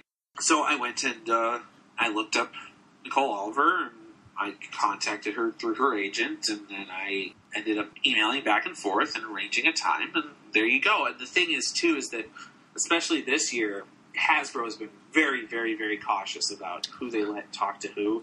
So I've been in to- contact with Hasbro quite a bit just to get approval so that we can say, okay, yeah, we're approved to talk to this person, and then we then talk to the agent, and the agent I talk, and uh, yeah. So I talk to a lot of agents. like to give you guys an example, it took me five months to get the Tabitha St. Germain interview lined up. Wow. five months, and I would say about oh 40 emails because I knew Tabitha's agent, and I got Hasbro's approval, but you know they're also very busy, so it's also a lot of scheduling and it's a lot of rescheduling um, because yeah they've got conventions to go to and things to voice, and it's a lot of work. I've had some people send me emails saying, "So, can you send me the contact information for all of the voice actors?" And I was like, "No, No. I can't." Send them a Google link. Just a link to the Google homepage. Oh yeah, Start just- there. That's yeah. No, it, in the ed- in the entertainment industry, it's really really bad form to spread contacts without permission. No. Um, and so, like people say, well, "How did you get these uh, these guests?" It's like tons and tons of work, Indeed. tons of. Well, I'll Oh. tell you, like first step towards getting any VA on your show is to know what you're going to ask, and ask yourself this: Are you getting them on your show because you want to talk to them, or are you getting them on your show because you're trying to find something out about who they are, etc.? So my next question is do you get nervous when you interview your guests because I know I do. I actually don't. I don't get nervous. I find that doing these interviews, I mean, they're people. The, the voice actors are people, and if you remember that when you're talking to them, then that will help with the nervousness. I think the other thing that helps is that, like when I coach speech, I tell my students, any kind of performance or any kind of interview that you do is a symbiotic process in that when you go up on stage somewhere, the audience, with the exception sometimes of some jerks, the audience wants you to do well. They don't want to watch something awkward and stupid. They'd rather see something fun and informative, and, and you know, so they want you to do well, and you want to do well, and so they're kind of in a sense rooting for you. You know, which people don't think about often. I mean, if you're ever if you've ever been to a theater or to a movie, you know, you don't go in there hoping that that you're going to see a failure Sometimes you do if it's like a really crappy horror movie, but I mean, for the most part, you're you're going in there hoping that they'll do a good job because that's the most entertaining. And um, so, back when I was like in eighth grade, when I was like 13 years old, I used to get really, really nervous in front of a crowd, and I actually was uh, on my way to a band concert. I was going up on stage with my trumpet and I tripped and fell flat on my face. And I think that was the moment where I realized I didn't care anymore. like if you can fall and get up and keep doing your thing, then the audience will love you for it. And so I got over that nervousness pretty quickly because I found that it didn't really um, it didn't really help. I will say I've been excited for interviews, like especially when you first start off and you first start interviewing voice actors, and it's like, oh my god, I'm talking to the voice of Spike, or oh my god, I'm talking to Twilight Sparkle herself. Yeah, it's fun, but getting nervous just makes things worse. And again, they're people. Plus, now I've done so many of these interviews, and I've done all these these panels at these conventions that, for me, it's kind of like, well, I kind of know them already. Hmm. So, I will say, like for example, at Canterlot Gardens, John DiMaggio was there. John DiMaggio is the voice of Bender from Futurama. When I was growing up, or I should say when I was in high school, Futurama was one of my favorite shows ever. And I met him for the first time in Ohio. And I was excited to meet him, but was I nervous? No, because he's still a guy. You know, he's a voice. And, I think people need to remember that. So I think it was funny to me because some, I get nervous about other things. Um, and I, like for example, I didn't want to do karaoke at Midwestria because I thought I was going to sing the wrong notes on something. It wasn't that I was afraid of the actual singing portion. It's just I didn't. I felt nervous about you know doing the song wrong. Whereas at BronyCon June, when there were four thousand people in the room and five thousand people on my live or on live stream, not my live stream, but Everfree Radio's live stream, that didn't make me nervous at all. I'm like, oh, okay, cool. I can understand. So, um, you said you were a teacher, right? So, how has this affect your interaction with your students? Well, I'll, I'll, say this: like I'm a I'm a coach. I'm going for my teaching licensure. I don't actually officially officially teach, but um, I do work in a high school, um, and I do work with the debate team. And for two years, I worked with the speech team. This is my fifth year coaching debate. I try to keep it separate to an extent because I look at it like if I'm coaching debate, then I should be coaching debate. I'm not, you know, I'm not bronying out like my job is to coach debate. Now, sometimes students of mine may or may not be bronies, and then they find out that I'm involved with Everfree Radio, and then they find out that I've interviewed these VAs and whatever, and then they kind of they're like, "Mr. B, how could you?" And like, you know, I, it, my favorite is uh, I've told this story a few times, but one of my students, Joey, uh, found out that I was Final Draft from Everfree Radio, and uh, he came up to me at one of the practices. And he goes, "Hello, final draft." And I said, "I don't know who you're talking about." I just completely denied it. He goes, "Whatever, it's totally you." I said, "I certainly have no idea what you're talking about." He's like, "So you've never seen My Little Pony?" I'm like, "What? Would it make me twenty percent cooler if I had?" oh my god! and he, and he just gave me this deathly glare. And then we did our regular practice. The next time I came in, he came back. He's like, oh my god, you interviewed Kathy Weseluck, I hate you. I'm like, that's very rude, Joey. Why would you hate me? you know, just I, am very evil with my students. And he and he, he's like, how did you do? What, how does it? What is this? I don't even. I'm like, Joey, we don't worry about such things, and I certainly have no idea what you're talking about. wow. So yeah, yeah. And my students like I've been to a couple uh, speech tournaments where people will be wearing, say, a brony shirt, or they'll have like a derpy bag or something. I'll give them a bro hoof. Yeah, I'll do that, but I won't. Uh, I don't go out of my way. If somebody came up to me and said, "Oh my God, are you Final Draft from River Radio?" I pull them aside. Yeah, I am, but you know, you're here for a debate tournament, right? Yeah, okay, we'll go debate. oh, cool. Yeah, I don't know. Yeah, I try not to let it affect the tournament or the, the coaching because then it's a disservice to them. Because honestly, the majority, the vast majority of any of the students I have are not bronies. They have no idea what it is, or if they do find out, and they're high school students, so most of them already know at this point. Um, they generally they're just kind of like, okay, well, I guess you know, I guess Mr. B is part of uh, part of the brony fandom. That's kind of weird. Whatever, you know. They know that I do conventions and stuff because uh, because I go out of town so much for that. I try to keep it separate. It is fun though. I love to troll my students. Like I actually got a voice actor on the phone one time with one of my students, and uh, they they were doing their character, and yeah, that that made them geek out. It was fun. So. Wow, that's awesome. I wish I had a teacher like you. Well, you know what? At this point, I mean, I've been doing so much work with Everfree Radio and with you know broadcasting. That I don't know if I'm going to end up going to teaching or not. I mean, I'm good at it. I like it, but the other side of it is that there's a lot of politics involved with teaching, and also it does not pay very well at all. You work your butt off for nothing, at least in the states. And uh, so I don't know. I enjoy coaching though, and I'm going to keep doing that as long as I can. okay, that's awesome. So um, those are my questions. Daniel, do you have any? Yes, a few questions. First of all, um, you mentioned about um, what you could be doing in the future. Did you actually study communication or did you study language? I actually didn't study either. I, when I was in college, I uh, I did classical civilization as my major. Oh, nice. So that's ancient Rome, ancient Greece, and then I uh, I did a minor in art history. I thought I was going to go into archaeology. I love archaeological stuff. I love history. Um, and then I thought, okay, well, I'll go into history teaching because that's associated. But uh, when I was in high school, I was a debate student and I did debate and I've always had a fascination with communication. So now when I've been in graduate school, I've been trying to focus on that a bit. Um, but uh, yeah, it's I've always had a fascination with it, and it seems to be something I'm good at. So that's kind of where my background is on that. Wow, that's interesting. Brony studied the most interesting things out there. Indeed. Well, you know, I, I call my degree in classical civilization a degree in unemployment because you can't really get jobs from it. Wait, I got a question. Um, have you played the game Civilization? all the freaking time. And let me tell you, I it's been a while, but Civ Five and Civ Four, yeah, I had Mm. played Civ Four for hundreds upon hundreds of hours, and Civ Five apparently they just came out with an expansion I haven't bought yet that has the Byzantines, and I'm geeking out over that. Civilization 5 that had the Celestia mod.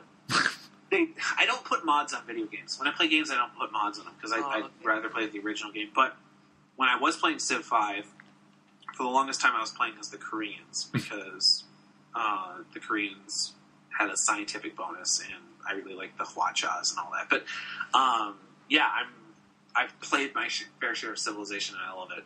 But I always do the same thing in Civilization. I build up my civilization as much as possible, and then I try to take over the rest of the world. I just try to go and like attack every country. And anyway, Well, who wouldn't? Uh, when Civilization 6 comes out, Korea's gonna Gangnam the whole world. there you go. Gangnam style will be like the civilization trait. oh no. then it'll, we'll have all sorts of crap It'll just be because- Psy, it, the unit Psy, and he just does the Gangnam dance, and you just hear him go whoop whoop whoop whoop, Oh and he no. walk all down. Move on, move on. Alright, alright. So, um, yes. I looked at your pony sona, are really, really nice. I like that fluorescent touch it has to it. So, where did the idea for all that come from? oh, you mean the the OC? Yes. So, uh, I just picked colors that I liked. I I knew that it would have to be a unicorn because how would an Earth pony operate a typewriter or a you know a keyboard to do writing? I mean, Did you watch Ponyville Confidential? we don't worry about such things. the other thing is that uh, I knew it would be a unicorn. Some people are like, I got to be a Pegasus. Uh, no, I, I don't care about the flying aspect. It's cool, but it seems to me that the Pegasi are supposed to be more athletic. The unicorns are supposed to be more the intelligentsia, and then the uh, you know the the Earth ponies are like the hard workers. Well, I'm definitely not a hard worker. So anyway.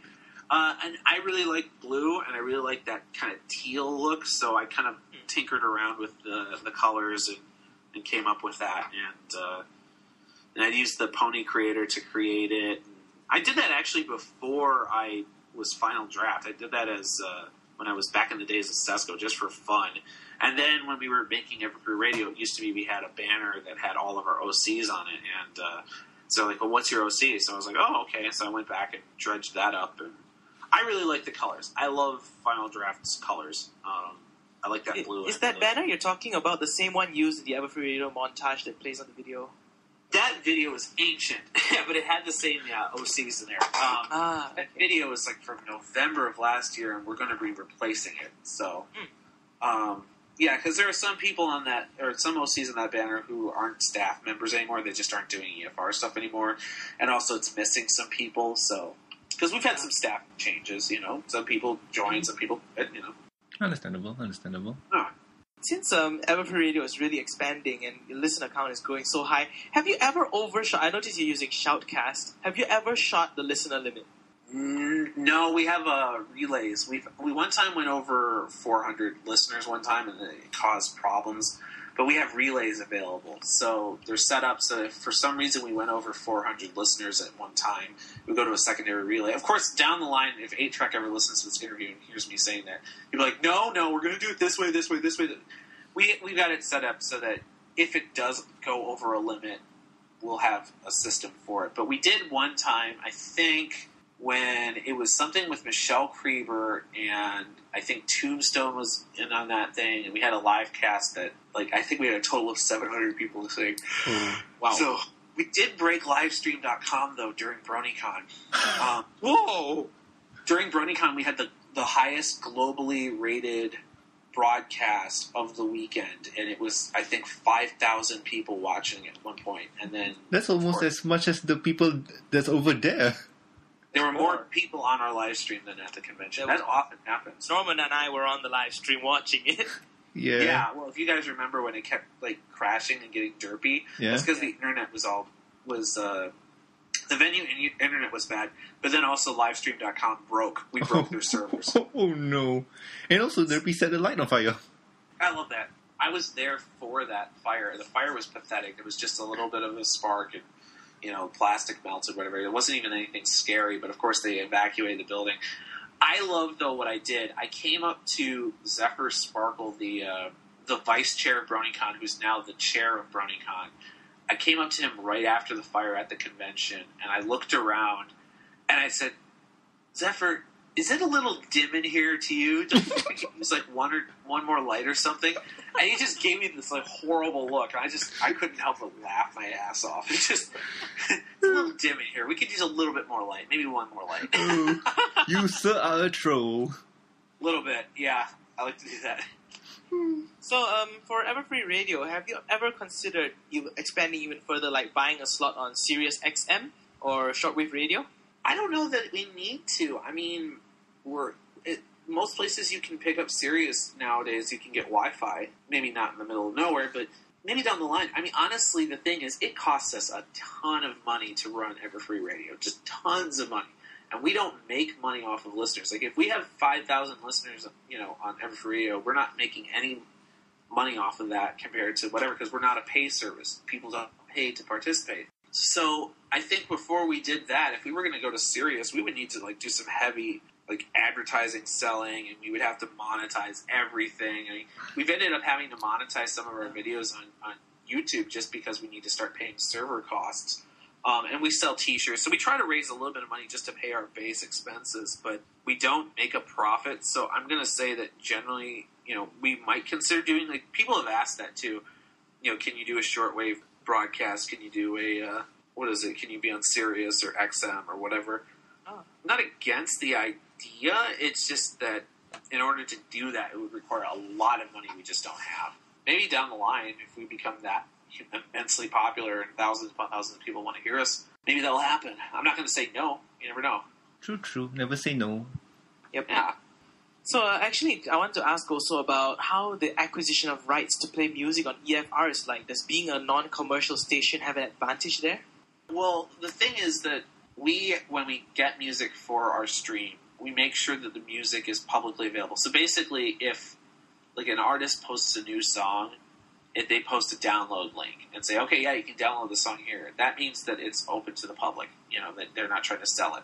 If they are trying to sell it, then we'll talk to the artist. Like uh, like Silva Hound had an EP, and uh, Chain Algorithm did, and you know, so some artists are trying to you know sell their music, and, and it makes sense because they put a lot of work into it. hmm So we don't just up and throw things on the stream unless it's either publicly available already for free, or we've gotten permission, or you know we've asked the artists themselves. But because it's fan music and because we're not selling it or something, it makes it really easy in terms of legal stuff. Because if we were trying to sell it as our own or something, then when we need we need to go through all sorts of paperwork for the right to play the music. I mean, it's already publicly available stuff, or we've already made arrangements with with the artists themselves. Oh, So- And we don't. We used to allow downloads. We don't do that anymore. Oh. So if people see a song, they can go and find it. You know, we'll keep. You know, you can go to the playlist and you can see, okay, well, what's played. Then they can go and download it or buy it or whatever. Uh, if you've noticed, there's been a rise in a lot of regional podcasting. Like we found out very recently that even the Philippines has their own little live stream. Australia has a small live stream there as well, and uh, there's they're doing it for Brony content. So, do you have any advice for someone who would be looking to start their own little pony live streams? Well, I think first and foremost, you need to make sure that you are doing it for the right reason. If you're doing it because you want, like I said, it's like I said before, if you're doing it because you're just looking to become popular, then that's the wrong reason. But if you're doing it because you think that the bronies in your area um, deserve a podcast and, like, you know, could use some representation, or that you think that, let's say, you're making a, I don't know, a podcast out of Fiji, right? And you feel like the Fiji bronies need uh, you know, need some representation or whatever online. Well, then yeah, then that's the right reason to do it. So that's my first piece of advice. My second piece of advice is it's good to have some sort of organization because if you just go and you just start blabbing and don't have any kind of structure whatsoever, then people aren't going to want to listen because you aren't accomplishing anything. And then I guess the third and final piece of advice, and this is true for pretty much anything you do, do the best you can at what you're doing. Don't don't half-ass it. Don't you know take shortcuts. Do the best you can, and that's how you're going to be most successful. Because if you go into it, you're just going to do a lazy podcast. Well, you're not going to get any listeners because nobody wants to listen to people who don't care about what they're doing. So there you go. True, I, I can 100% agree on that because the work I do each week, oh, they won't know. Yeah. Yeah, no, they never know. It takes way, way, way more work behind the scenes than people realize in order to make a decent show, especially if you're editing. editing Yeah. takes a lot of time. Norman knows it all. Yeah. Funny, funny enough, um, some people can do it uh, for five hours. I, I do it for 12.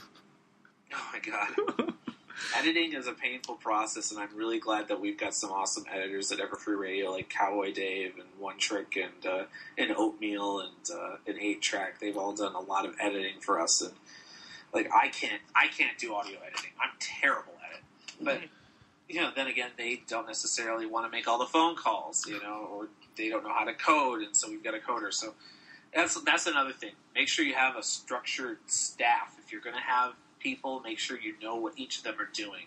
There's a trend in the Brony fandom that you know because friendship is magic, whatever. That somehow the staff needs to be this, uh, like everybody needs to be exactly the same in everything. So, like I know some groups that have these circles of you know five or six people that run a website. None of them have a set role. They just all run the website, like six of them. That's worthless because nobody's going to ever agree on anything. Find what people are really good at and give them those roles. Like with EFR, what we do, Nash, for example, is the site programmer. I'm never going to tell him how to program because he knows how to do it. That's his role. If somebody else came in and wanted to do programming, I'd say talk to Nash because he's the guy who knows how to do that. That kind of a hierarchy, that kind of role division can save you so many headaches. And people say, "Well, that's not fair." No, it's you know it. It's not about fairness. It's about who is the best at what job. So if you're starting a podcast or you're starting something, make sure you know exactly what each person's role is, and make sure there isn't too much overlap. Because if you have too many chefs in the kitchen or whatever, it's going to be impossible to get anything done. It's true, I, I can agree on that because the way I do it is I manage the show, I edit the show, but since we got Daniel on, we now have a podcast, and I'm proud of that. I mean, without Daniel, our show is nowhere. Well, thank Well, you, it sounds Norman. like Sounds like you guys have a decent dynamic going on too. So I mean, I'm saying this kind of in for- general uh, because there's some sorry. groups that'll be like, okay, we got 20 bronies who all want to do a podcast. All right, let's get everybody in. It's like, oh god, Roar, yeah, pretty much. rumble. oh god, twenty people podcast. It's like I mean, what happened is Norman and I, because we both pretty much have a the same kind of skill set, if you would say. Both of us can do audio editing. So let, let's say if he can't do something, he'll toss it to me, and most likely, by the time, I'll pick it up and do it. So we don't Well, have a very you fixed position, but we have the chemistry. But you know what you're each of you are doing for any given week. Like you know one of you is editing, the other one isn't, or something. It's not like you're both trying to edit the same thing at the same time or something. like Nah, you- you- that, that won't work. That won't work. I've been meaning to Well, try that actually, just for That the you know to see what comes out. That would be lots and lots of work. But yeah, no, I mean you'll develop your your dynamic, and you know, yeah, there's going to be some crossover. It's just you don't want to have multiple people doing the same job at the same time because that's a waste of time. Would EFR be probably up to host a con- such a convention? Maybe. Oh God, no! I love your reaction. Are It's awesome. So, so hard to run in the first place. You have to be insane to start a convention in the first place. And I I've worked with all of the different Brony conventions, and they're great people, but they they're just crazy for even doing it. It just you could do it. Okay, I've asked people have asked me if Everfree Radio would ever host an Everfree Radio convention, and the answer is no because it would take way too much time away from everything else we're trying to do, and we're a media group. Could we do it? Yes. Will we do it? No. It's just a matter of putting our time and resources into what we want to accomplish. So, And So you much- have just debunked one of these myths in my head. I thought Everfree Northwest was organized by the EFR staff. Oh no. No, we're not. We're different groups, and Yeah. people don't know that, and people keep forgetting that. uh, I thought everything that- North- I was like, okay, wait, is Jody working with EFR? No, he's not. Oh, okay. Oh, Bajati, he's he, okay. Bajati's a good friend of mine. Um, no, he does not work for EFR, and we came up with our names independently around the same time. Ah, So Everfree Northwest is because they're in Seattle, and that's Northwest, and there's forests in that area. And then Everfree Radio because we're coming from the unnatural perspective. But when I first heard about them, I thought they stole our name. um, and I told them that, and they're like, "No, you stole ours." I'm like, when did you register your name? I'm like, "Well, we were forming our convention in July." I'm like, when did you register the name? And they said November. And I'm like, "Well, there you go. We've been around since September, so you know, you stole our name." I get the time though. People will send me Skype messages like, "How do I get tickets to Everfree Northwest?" Like, good question. Go ask them. Or I had other ones like, you know, like, um, yeah, I'm having a problem with my credit card on your website. I'm like, nope, that's not me. no, wait, you donating? No. No, well, no, the uh, what is it like the uh, the registration or something? Now, you could have just asked them why you like to do a donation or something. Oh, I could do Throw that. them off. No, it would just take too much time. Well, what do you mean? And I have to explain that we're separate groups. So I'm just constantly saying, nope, Everfree Radio is not the same as Everfree Northwest. Different groups. it's going to get even worse now because uh, Everfree Northwest, their initials are E EFNW, and Everfree Network is going to be EFN. oh no. And network, network. If you take the syllables apart, it's NW. I know. Oh god. Well, we've been telling everyone over and over and over and over, but yeah, it, I mean, Everfree, Everfree, it, it's kind of like a common sense sort of thing, but it's also, yeah, we, we're separate groups, and none of our staff are on other staffs, so. Okay, Okay, cool, cool. good. So the the myth has been debunked right here on the MBS show.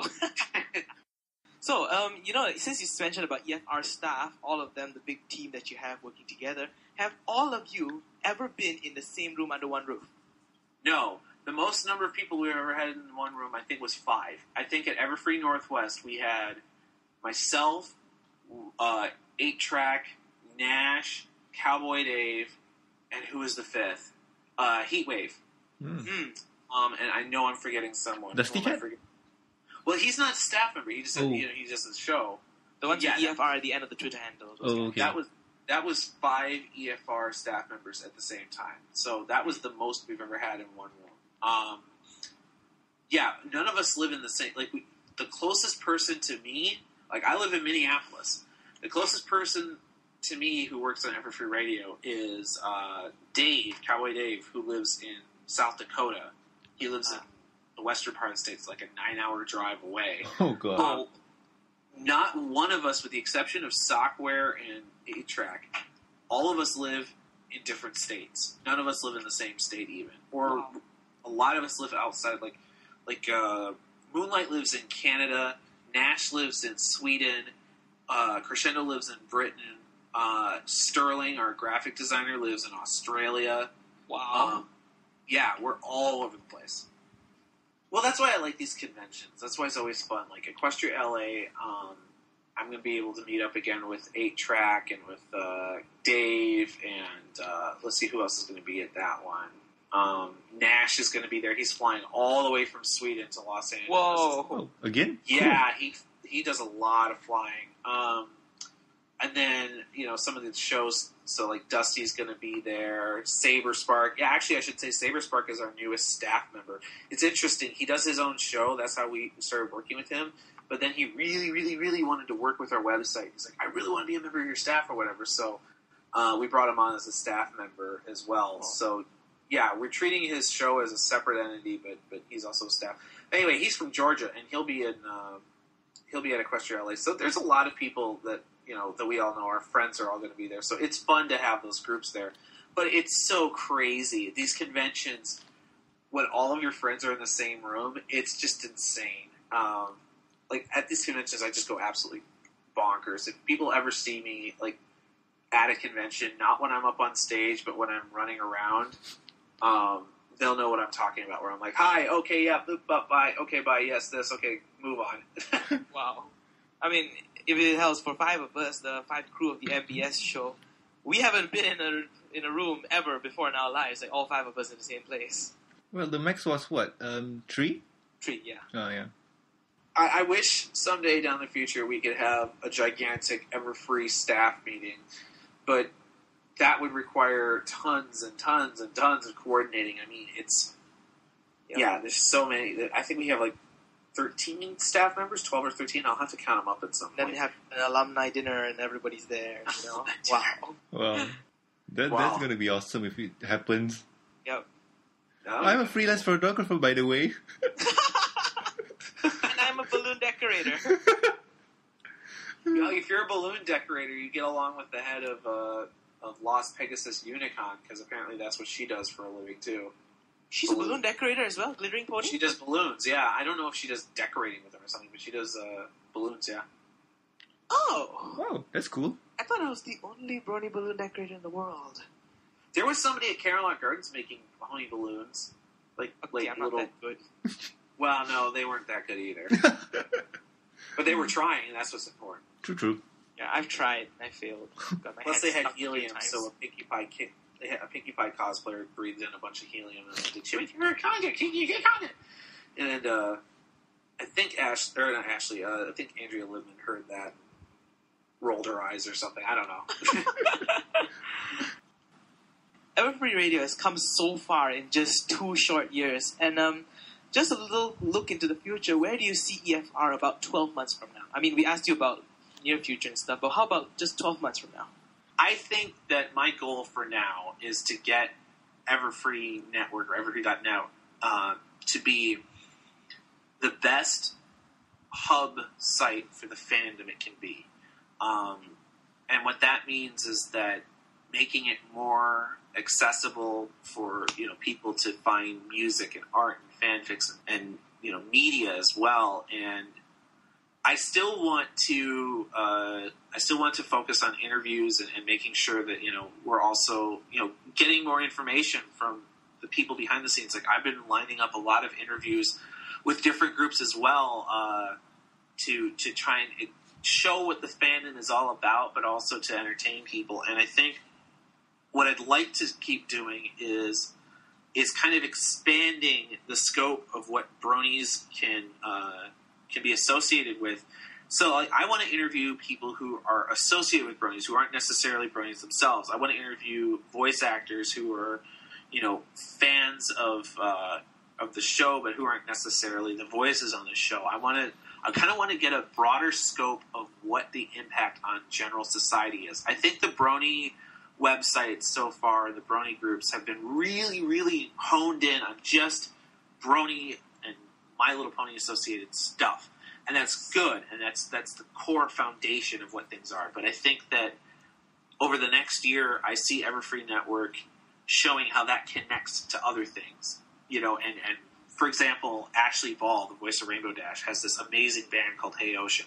I love Hey Ocean. I've seen them in concert. So twice. do I. Hey Ocean. I'm going to awesome. see them in concert at the end of the month, and I'm super excited. Um, they're amazing.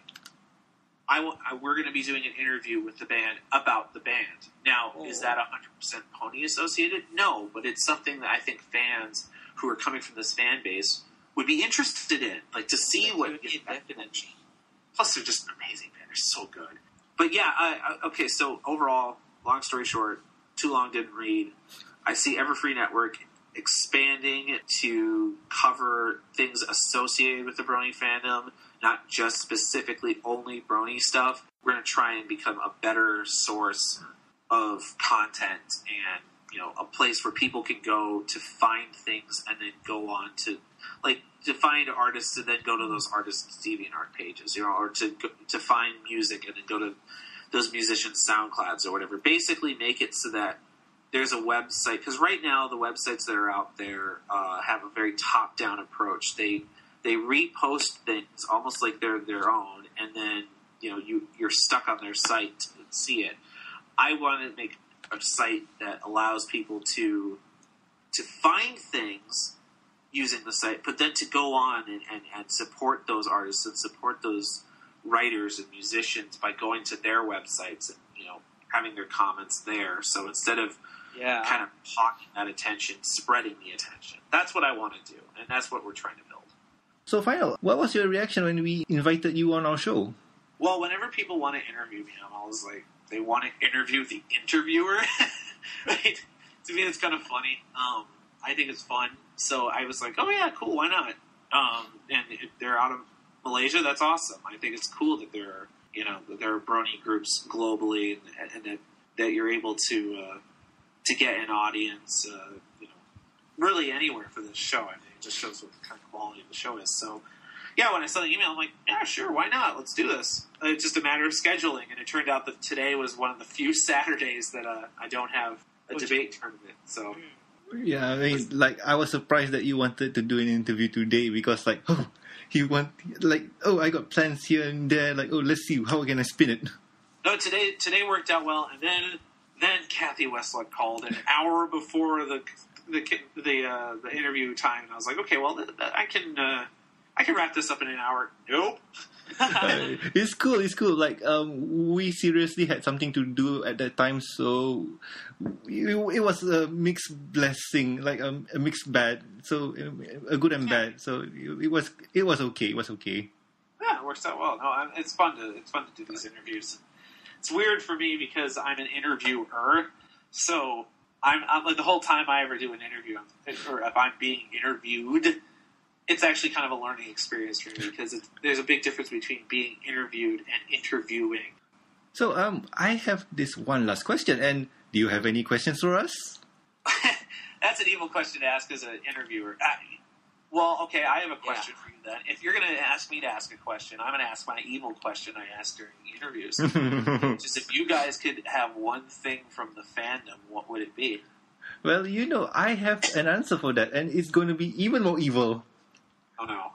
Well, um, since we're a podcast, an up and coming podcast, um, we need subscribers. We need feedback. Oh, that's not evil. That's smart. That's what you want. I thought you were gonna like uh, actually ask for something evil. No, no, that I think that makes sense. Yeah, it's Uh. true. To me, it's evil because it's not a straight answer. Do you have a Twitter account? oh yes, I do, and the show Use has it. Use it, use it, use it. That's the Yeah, best using way. it as we speak, actually. Oh. But I got no idea because he's managing it right now. Yeah, we take turns. Indeed, Oh crap! now we just to- now we just told the world who operates the account. We'll uh, fix it in post. We'll fix it in post. We're not supposed to let because people are asking us who's operating the account. We're like, I don't know. It's just made. Somebody did it. I don't know who's doing it. It's a robot, sweetie bot. He's she's helping us. Sweetie Bot. I, I asked Claire Corlett if she had seen uh, Friendship, is Friendship with Witchcraft. Witchcraft, and I asked her if she's a robot, and she's like, maybe. But for me, what if I could have one thing from this fandom? It's Yeah. a really hard question to answer. I mean, first That's thing comes to mind is a portal to Equestria. Do you really want that though? Because I, I don't know. People are like, yeah, I want to go to Equestria. I want to go to Equestria. I think that everybody would like what they would do. This is just the truth of the matter. And I'm willing to say this, even though Twilight Sparkle's best pony. They would go. They would find Fluttershy and torment the poor girl with constant hugging. They would just not be able to let go. Fluttershy, oh my god! And then, like poor, poor Fluttershy. I, I, actually took it from this perspective when I saw uh, was an image macro posted, and it's very very good um, perspective it gave on a portal. You see a portal in the wall that leads to Equestria. It closes in ten seconds. Will you jump? Will you be missed? And it took me a long time to answer the question whether yes or no. Like a lot of people say yes, yes, yes, let's go, let's go, let's go, and I'm like, wait, let me think about this. I know I only have ten seconds, but still, let me think about it. I Well, it's one of those like thought experiments. I can tell you right now, my answer is no. No, because first of all, there's no such thing as a portal to Equestria, so that means you've gone crazy and you're going to hurt your head against the wall. But second of all, even if it was real, you know, it's a show that's supposed to espouse ideals that you can translate into r- the real world. And your job as a brony isn't to hide in Equestria; it's to spread the best things that you you've learned from life, and you know some of those things might be from the show, some of them might not be, and and to affect positive change on human society. If you're jumping through a portal to Equestria and you can't come back, then you've basically given up on humanity, and I I'm not willing to be that pessimistic. I think people should they should try to. That's my my phrase. They should try to affect positive change. Well, True, I'm, true. I'll, I'm being on. I'll be honest. I've had those moments when you know I felt like just you know let's forget about this. Let's just you know We all yeah, have. we all have. That's the thing. We all have had those moments, and the, the the part of the human experience is taking those moments and growing from them, make the, making them make you stronger. You know that. I honestly think that the most brilliant people are the ones that have gone through the most pain, and the people who are the most caring have gone through the most suffering. And I think that uh, it's your job, especially bronies, because bronies are often an ostracized group it's not your job to go and hide in Equestria. It's your job to take your experiences and affect positive change from them. Do something with it that's worth, you know, humanity's time. You know, I don't know. That's the way I look at it.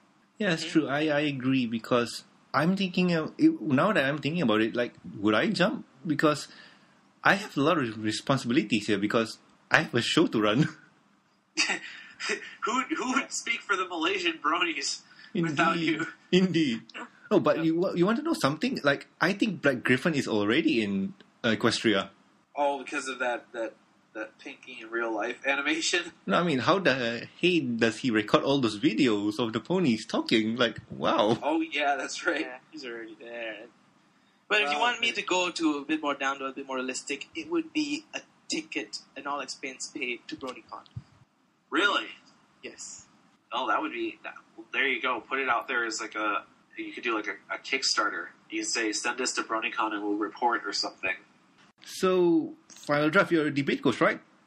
I am. So, um, since you're here, me and Daniel here want to debate. So, I'm going to prove who is best princess. You assign us a princess, and we'll debate about it. Well, I think if we're going to do this properly, just so that the audience knows what's going on, we need to set time limits. And we need to set a resolution and decide who is affirmative and who is negative. So, our resolution today is resolved that Princess Celestia is a better princess than Princess Luna, or something to that effect. I say Princess Celestia is best princess, better than Princess Luna. Okay. All right.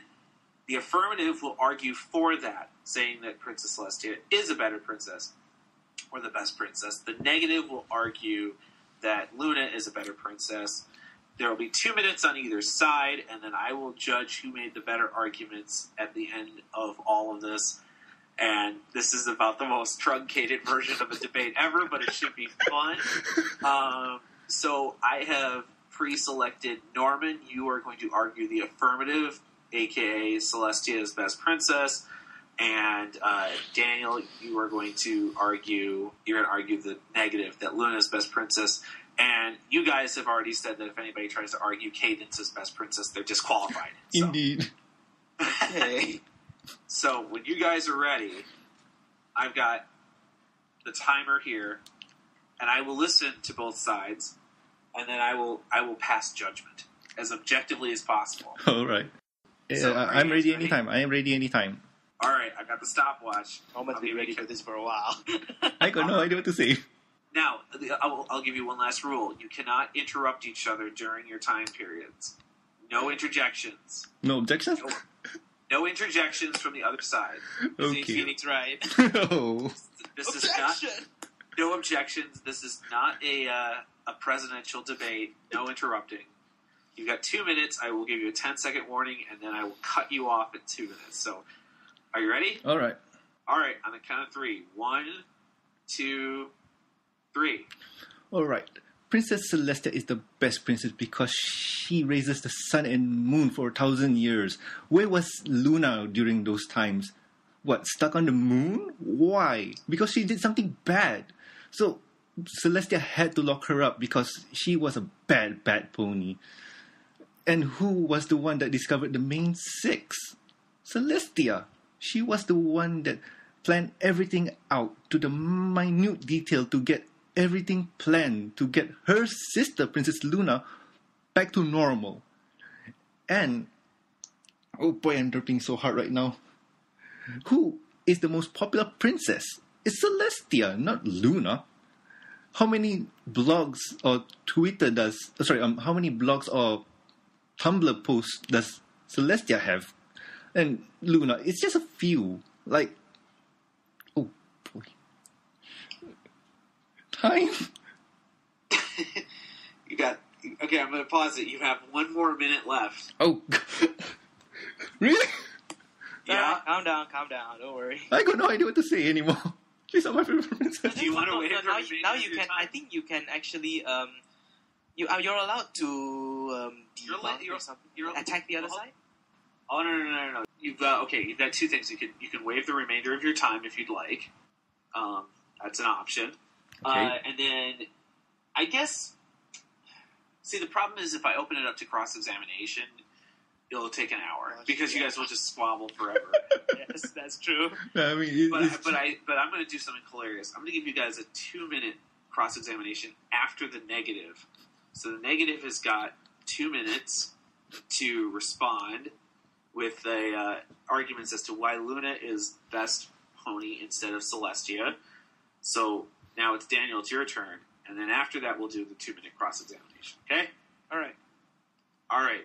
So on the count of three, one, two, three.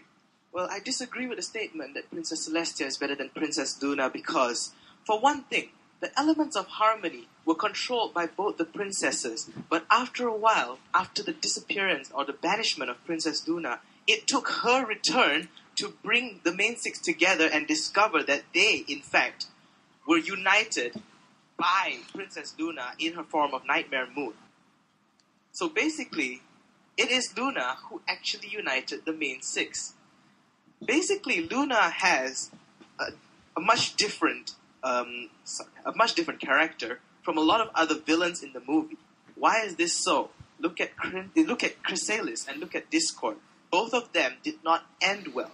Discord got turned back into stone. Chrysalis has been sent to God knows where.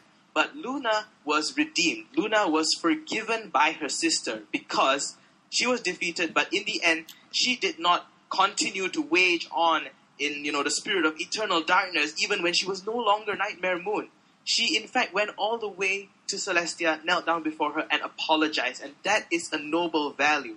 Celestia bows to nobody. Luna has the has actually got the modesty to bow down to her very own sister and ask for forgiveness, which she was granted.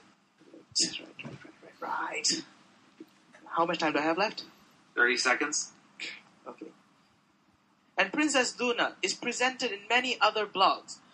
as Gamer Luna, and that Gamer Luna character is so prominent throughout the internet because Gamer Luna is popular. But Celestia, we have incarnations of her who are more negative. There's Trollestia, there's Pinklestia, and there's I don't know other. Lestias. And therefore, I would say Luna is the better princess than Celestia for these reasons. All right, all right. Now you have two minutes cross examination. So one person is going to be the, the examiner, and one person is going to be the examinee. So one person gets to ask questions of the other. I'm going to do a coin toss to determine who is asking which questions. Uh, I am going to be tossing actually a Turkish coin. So who wants heads? Who wants tails? Heads. Tails. Okay, so did I hear Norman? You got heads. Yep. All right, and the coin toss is for tails. So Daniel, you are going to be asking Norman the questions for two minutes. So, you guys ready? Should I answer? Actually, I would. I'm not very familiar on what there is to cross-examine in this. Like, what kind of Well, questions? you ask you ask questions of his arguments. You say, okay, how did you you know you, you find flaws in the arguments and you uh, Hmm, and you try to, to disprove what he had to say. okay. Okay. You see, I think I don't- spent my two minutes earlier doing that already. so- Well, no, but you ask him direct questions. All right, here goes. Ready? One, two, three. So Norman, you mentioned that it was Celestia that brought together the main six. Where is this shown that Celestia was the one responsible for bringing the six of them together? Celestia planned everything out because she knew that Twilight Sparkle would come and use her awesome powers, and she knew that Applejack would be at Manhattan. Like she planned everything out because she's the princess and she's been seeing signs of it for a thousand years. Next question. Yes, and therefore, would you think that Celestia is okay? Sorry, this, uh, Celestia may be a more popular pony on the internet, but are you aware that she is the more neg- she has present she's presented in more negative forms because of how she has gained a reputation as a troll as well?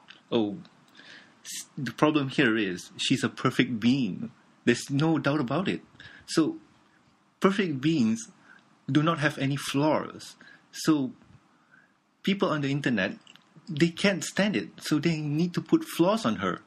So that's why they call her a troll. They call her a well, I'm not going to say that another blog, but you know what it is. So the perfect being, being too perfect, needs to be villainized? Yes. So wouldn't that mean that if you are imperfect, uh, if sorry, if you are perfect, you actually stand to not really be the best out there? Oh, there's a trick question there because she is perfect as in in many ways. She knows her flaws. She knows when to say sorry and when not to. She stands her ground firmly. Now she ban- she banished her very own sister to the moon. I am very sure that there are many many alternatives to this. Discord got turned to stone. Chrysalis got banished. I think I don't know where she is until now. and uh, Cadance got ban- uh, Cadance got sent all the way to the underneath Canterlot, and I'm sure Princess Celestia is capable of spells like that. Why would why would she choose of all things to banish her very own sister to the moon? The thing is, she is the moon spirit, the moon goddess. So what better place than to put her in her place? Okay, so I gave you guys an extra 30 seconds. That was two and a half minutes. Oh, so sorry. No, it's all right. I gave you extra time. Okay, so now it's time to render judgment. I've taken notes of the arguments on both the affirmative and the negative side. Um, so, are you guys ready for my assessment? Yes, sir. Yep. And I'm going to do this as extemporaneously as possible. So, this is this is what I coach students to do. I'm going to take a swig of water here because you guys are about to hear an official final draft speech on this topic. Here we go. All right, I've had my water. Here goes. In this debate, the affirmative has argued several issues regarding what makes Celestia the better princess between Celestia and Luna. Uh, the first issue that the affirmative brought up was the idea of Luna's absence in the past thousand years before her reappear reappearance at the end of uh, of the the opening episodes. Yeah, no, no, no. Well, that that's that was uh, Nightmare Moon. So I was I was trying to what's the name of the first episode. I always forget. I always forget. It's uh, oh my There it goodness.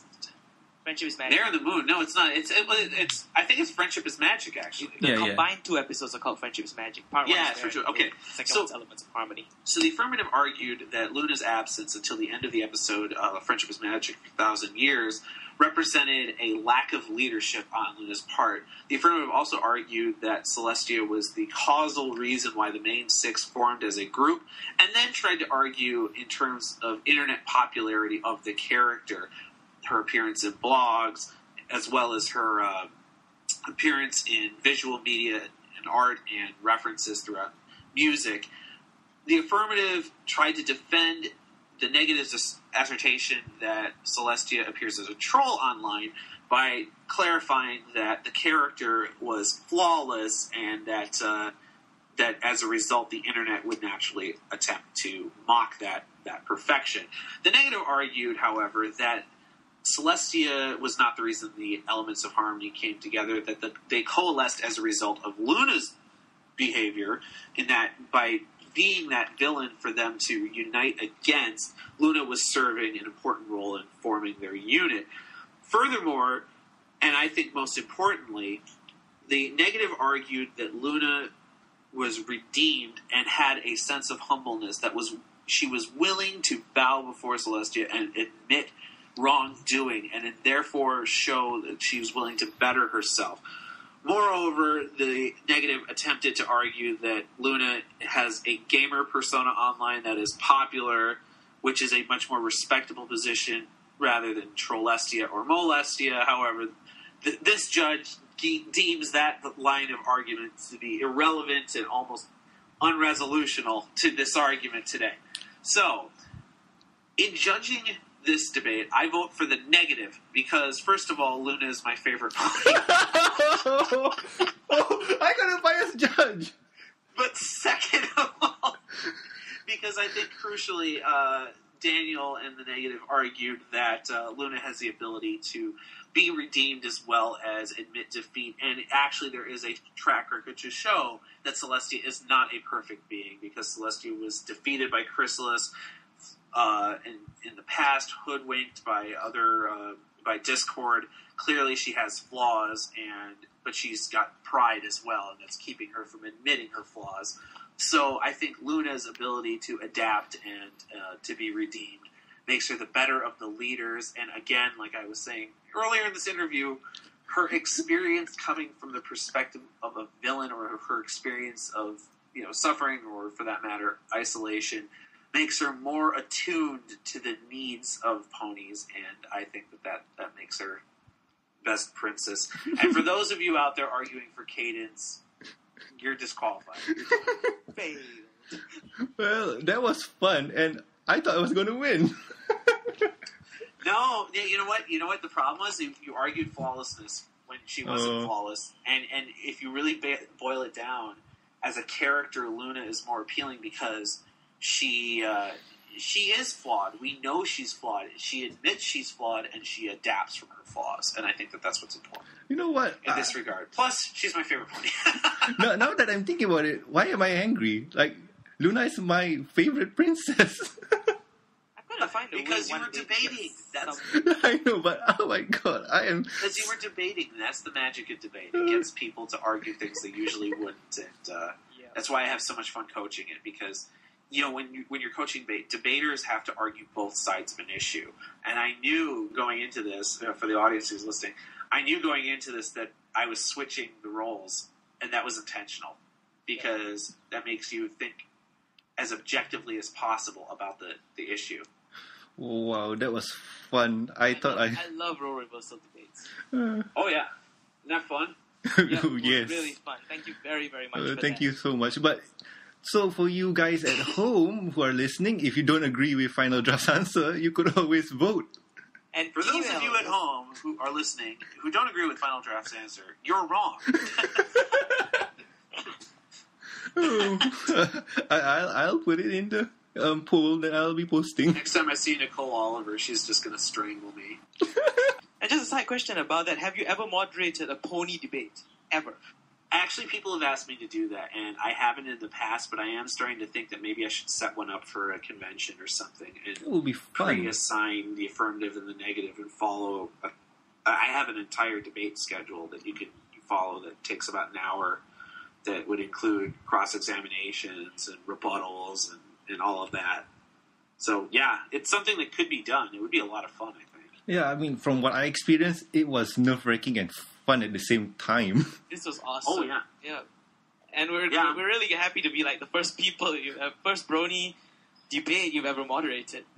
Oh, it would be. I think it would be great. I love debate as an activity. I think it's just there's there's no harm in there, and you could do stuff like you could you could do all sorts of resolutions. Resolve Trixie's best villain. You know, resolved. Uh, what was it? Uh, Party of One is best episode. Yeah, you, you, you- and then you could you know reference uh, evidence, and you could cite sources. I, I don't know. It, it, you could do a lot with it. Wow, that'd be awesome! Like, oh my, if, if you do do it at a convention, I, I want to see it because oh my god, that's so awesome! I want to be a part of it. I'm the conference respondent or something like that. I've had some people say that we should have a pony debate show on Everfree Radio, and I thought about it. It's, I'm not against the idea. It's, it's something that might might have to happen down the line. We'll see. Okay, so anyway, thank you, Final Draft. So let's move on to the next topic, and well, we reach our end. So my shout out is to you, Final Draft. Thank you for coming. Oh, thanks. Appreciate it. Yeah, that's So been much. fun. It's been a lot of fun. Yeah, and I, I guess if I could do a shout out, I would say to the rest of the Everfree Radio crew who are the reason that uh, that Everfree Radio is happening. You know, I, I do the talking, but they do the they do a lot of the slog work, and they, they also you know have uh, like like Nash and, and Software and Eight Track and all of them. Without them, Everfree Radio wouldn't be possible. So thanks, guys. We'll, we'll love to have more of Everfree Radio staff on maybe to interview soon. Oh yeah, you should talk to them. I'm sure they'd be up for it. Well, we should try. We should try. So I mean, Daniel, all 13 in the room would be something nice, but it may not be controllable. So. Um, it's chaotic. It's been done, and it's chaotic. oh, okay. oatmeal. We just haven't been in the same room in the actual same physical space, but we've done it on, on Skype or whatever. And Hmm. yeah, it devolves to stupidity really fast. Okay. I can understand. I actually want to try that. Oh no. So Daniel, you got any shout outs? Uh, no, not this week. Uh, hold on a second. Every time I come to the shoutouts, my mind goes blank. You should write it Uh, down. Yeah, I didn't have an internet connection at the barber and stuff. Uh, never mind. Well, you should shout out to your barber who cut your hair. No, because I don't like cutting my hair.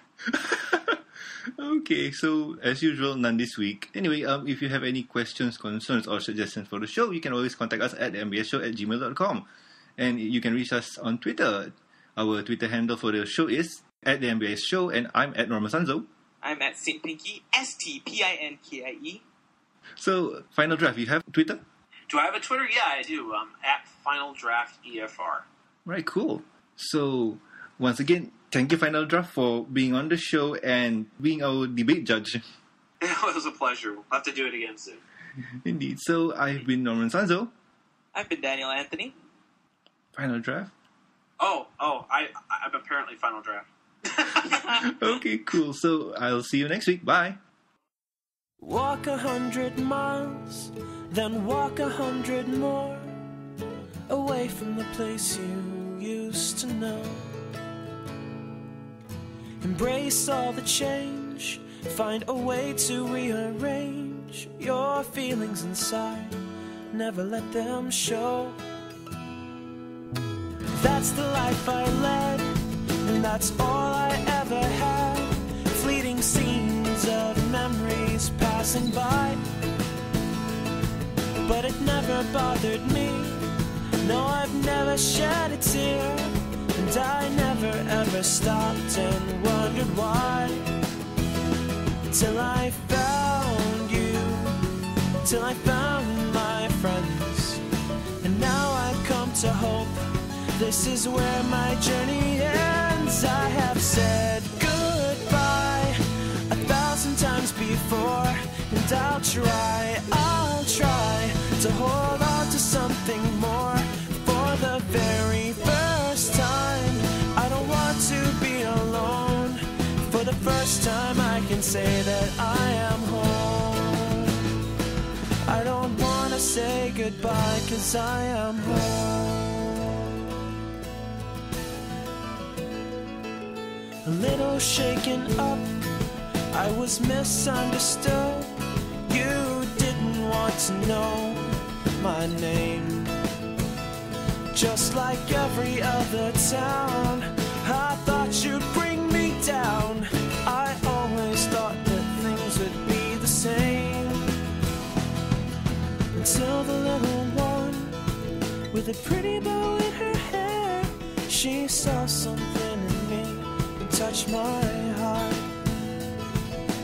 I had never what friendship could mean, but I think that now's a great time to start. Cause I found you, cause I found my friends, and now I've come to learn that the journey never ends. I have said goodbye a thousand times before, and I'll try, I'll try to hold on to something more the very first time. I don't want to be alone. For the first time, I can say that I am home. I don't wanna say goodbye, cause I am home.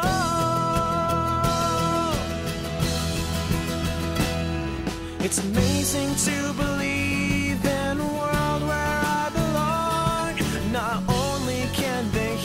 sing, but I choose to write a song to make them realize how much I really care.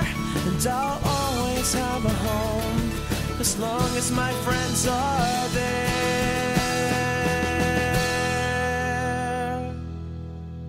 I have said goodbye a thousand times before, and I'll try, I'll try to hold on to something more for the very first time.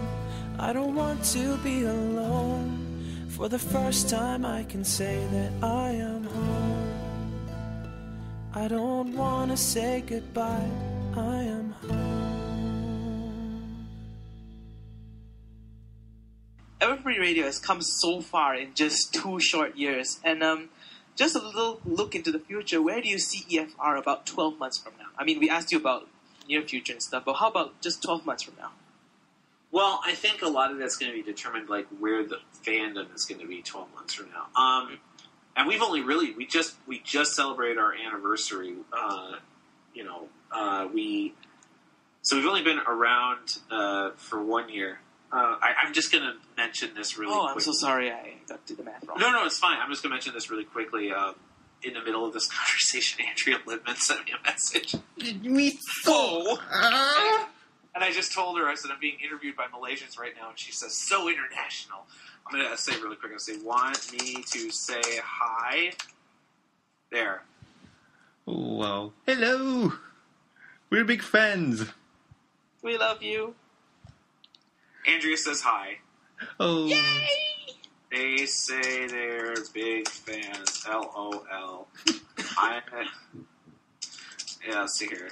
One guy is squealing on the phone. Oh.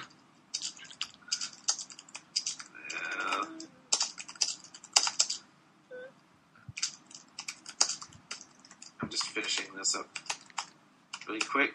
It's alright. All the VAs are bothering me this week. Well, not bothering me. Like I was on the phone with Kathy Weseluck earlier, and then now Andrea and, and Lee Tokar yesterday. And Oh, great, my Michelle folks are later. Wow. oh, God.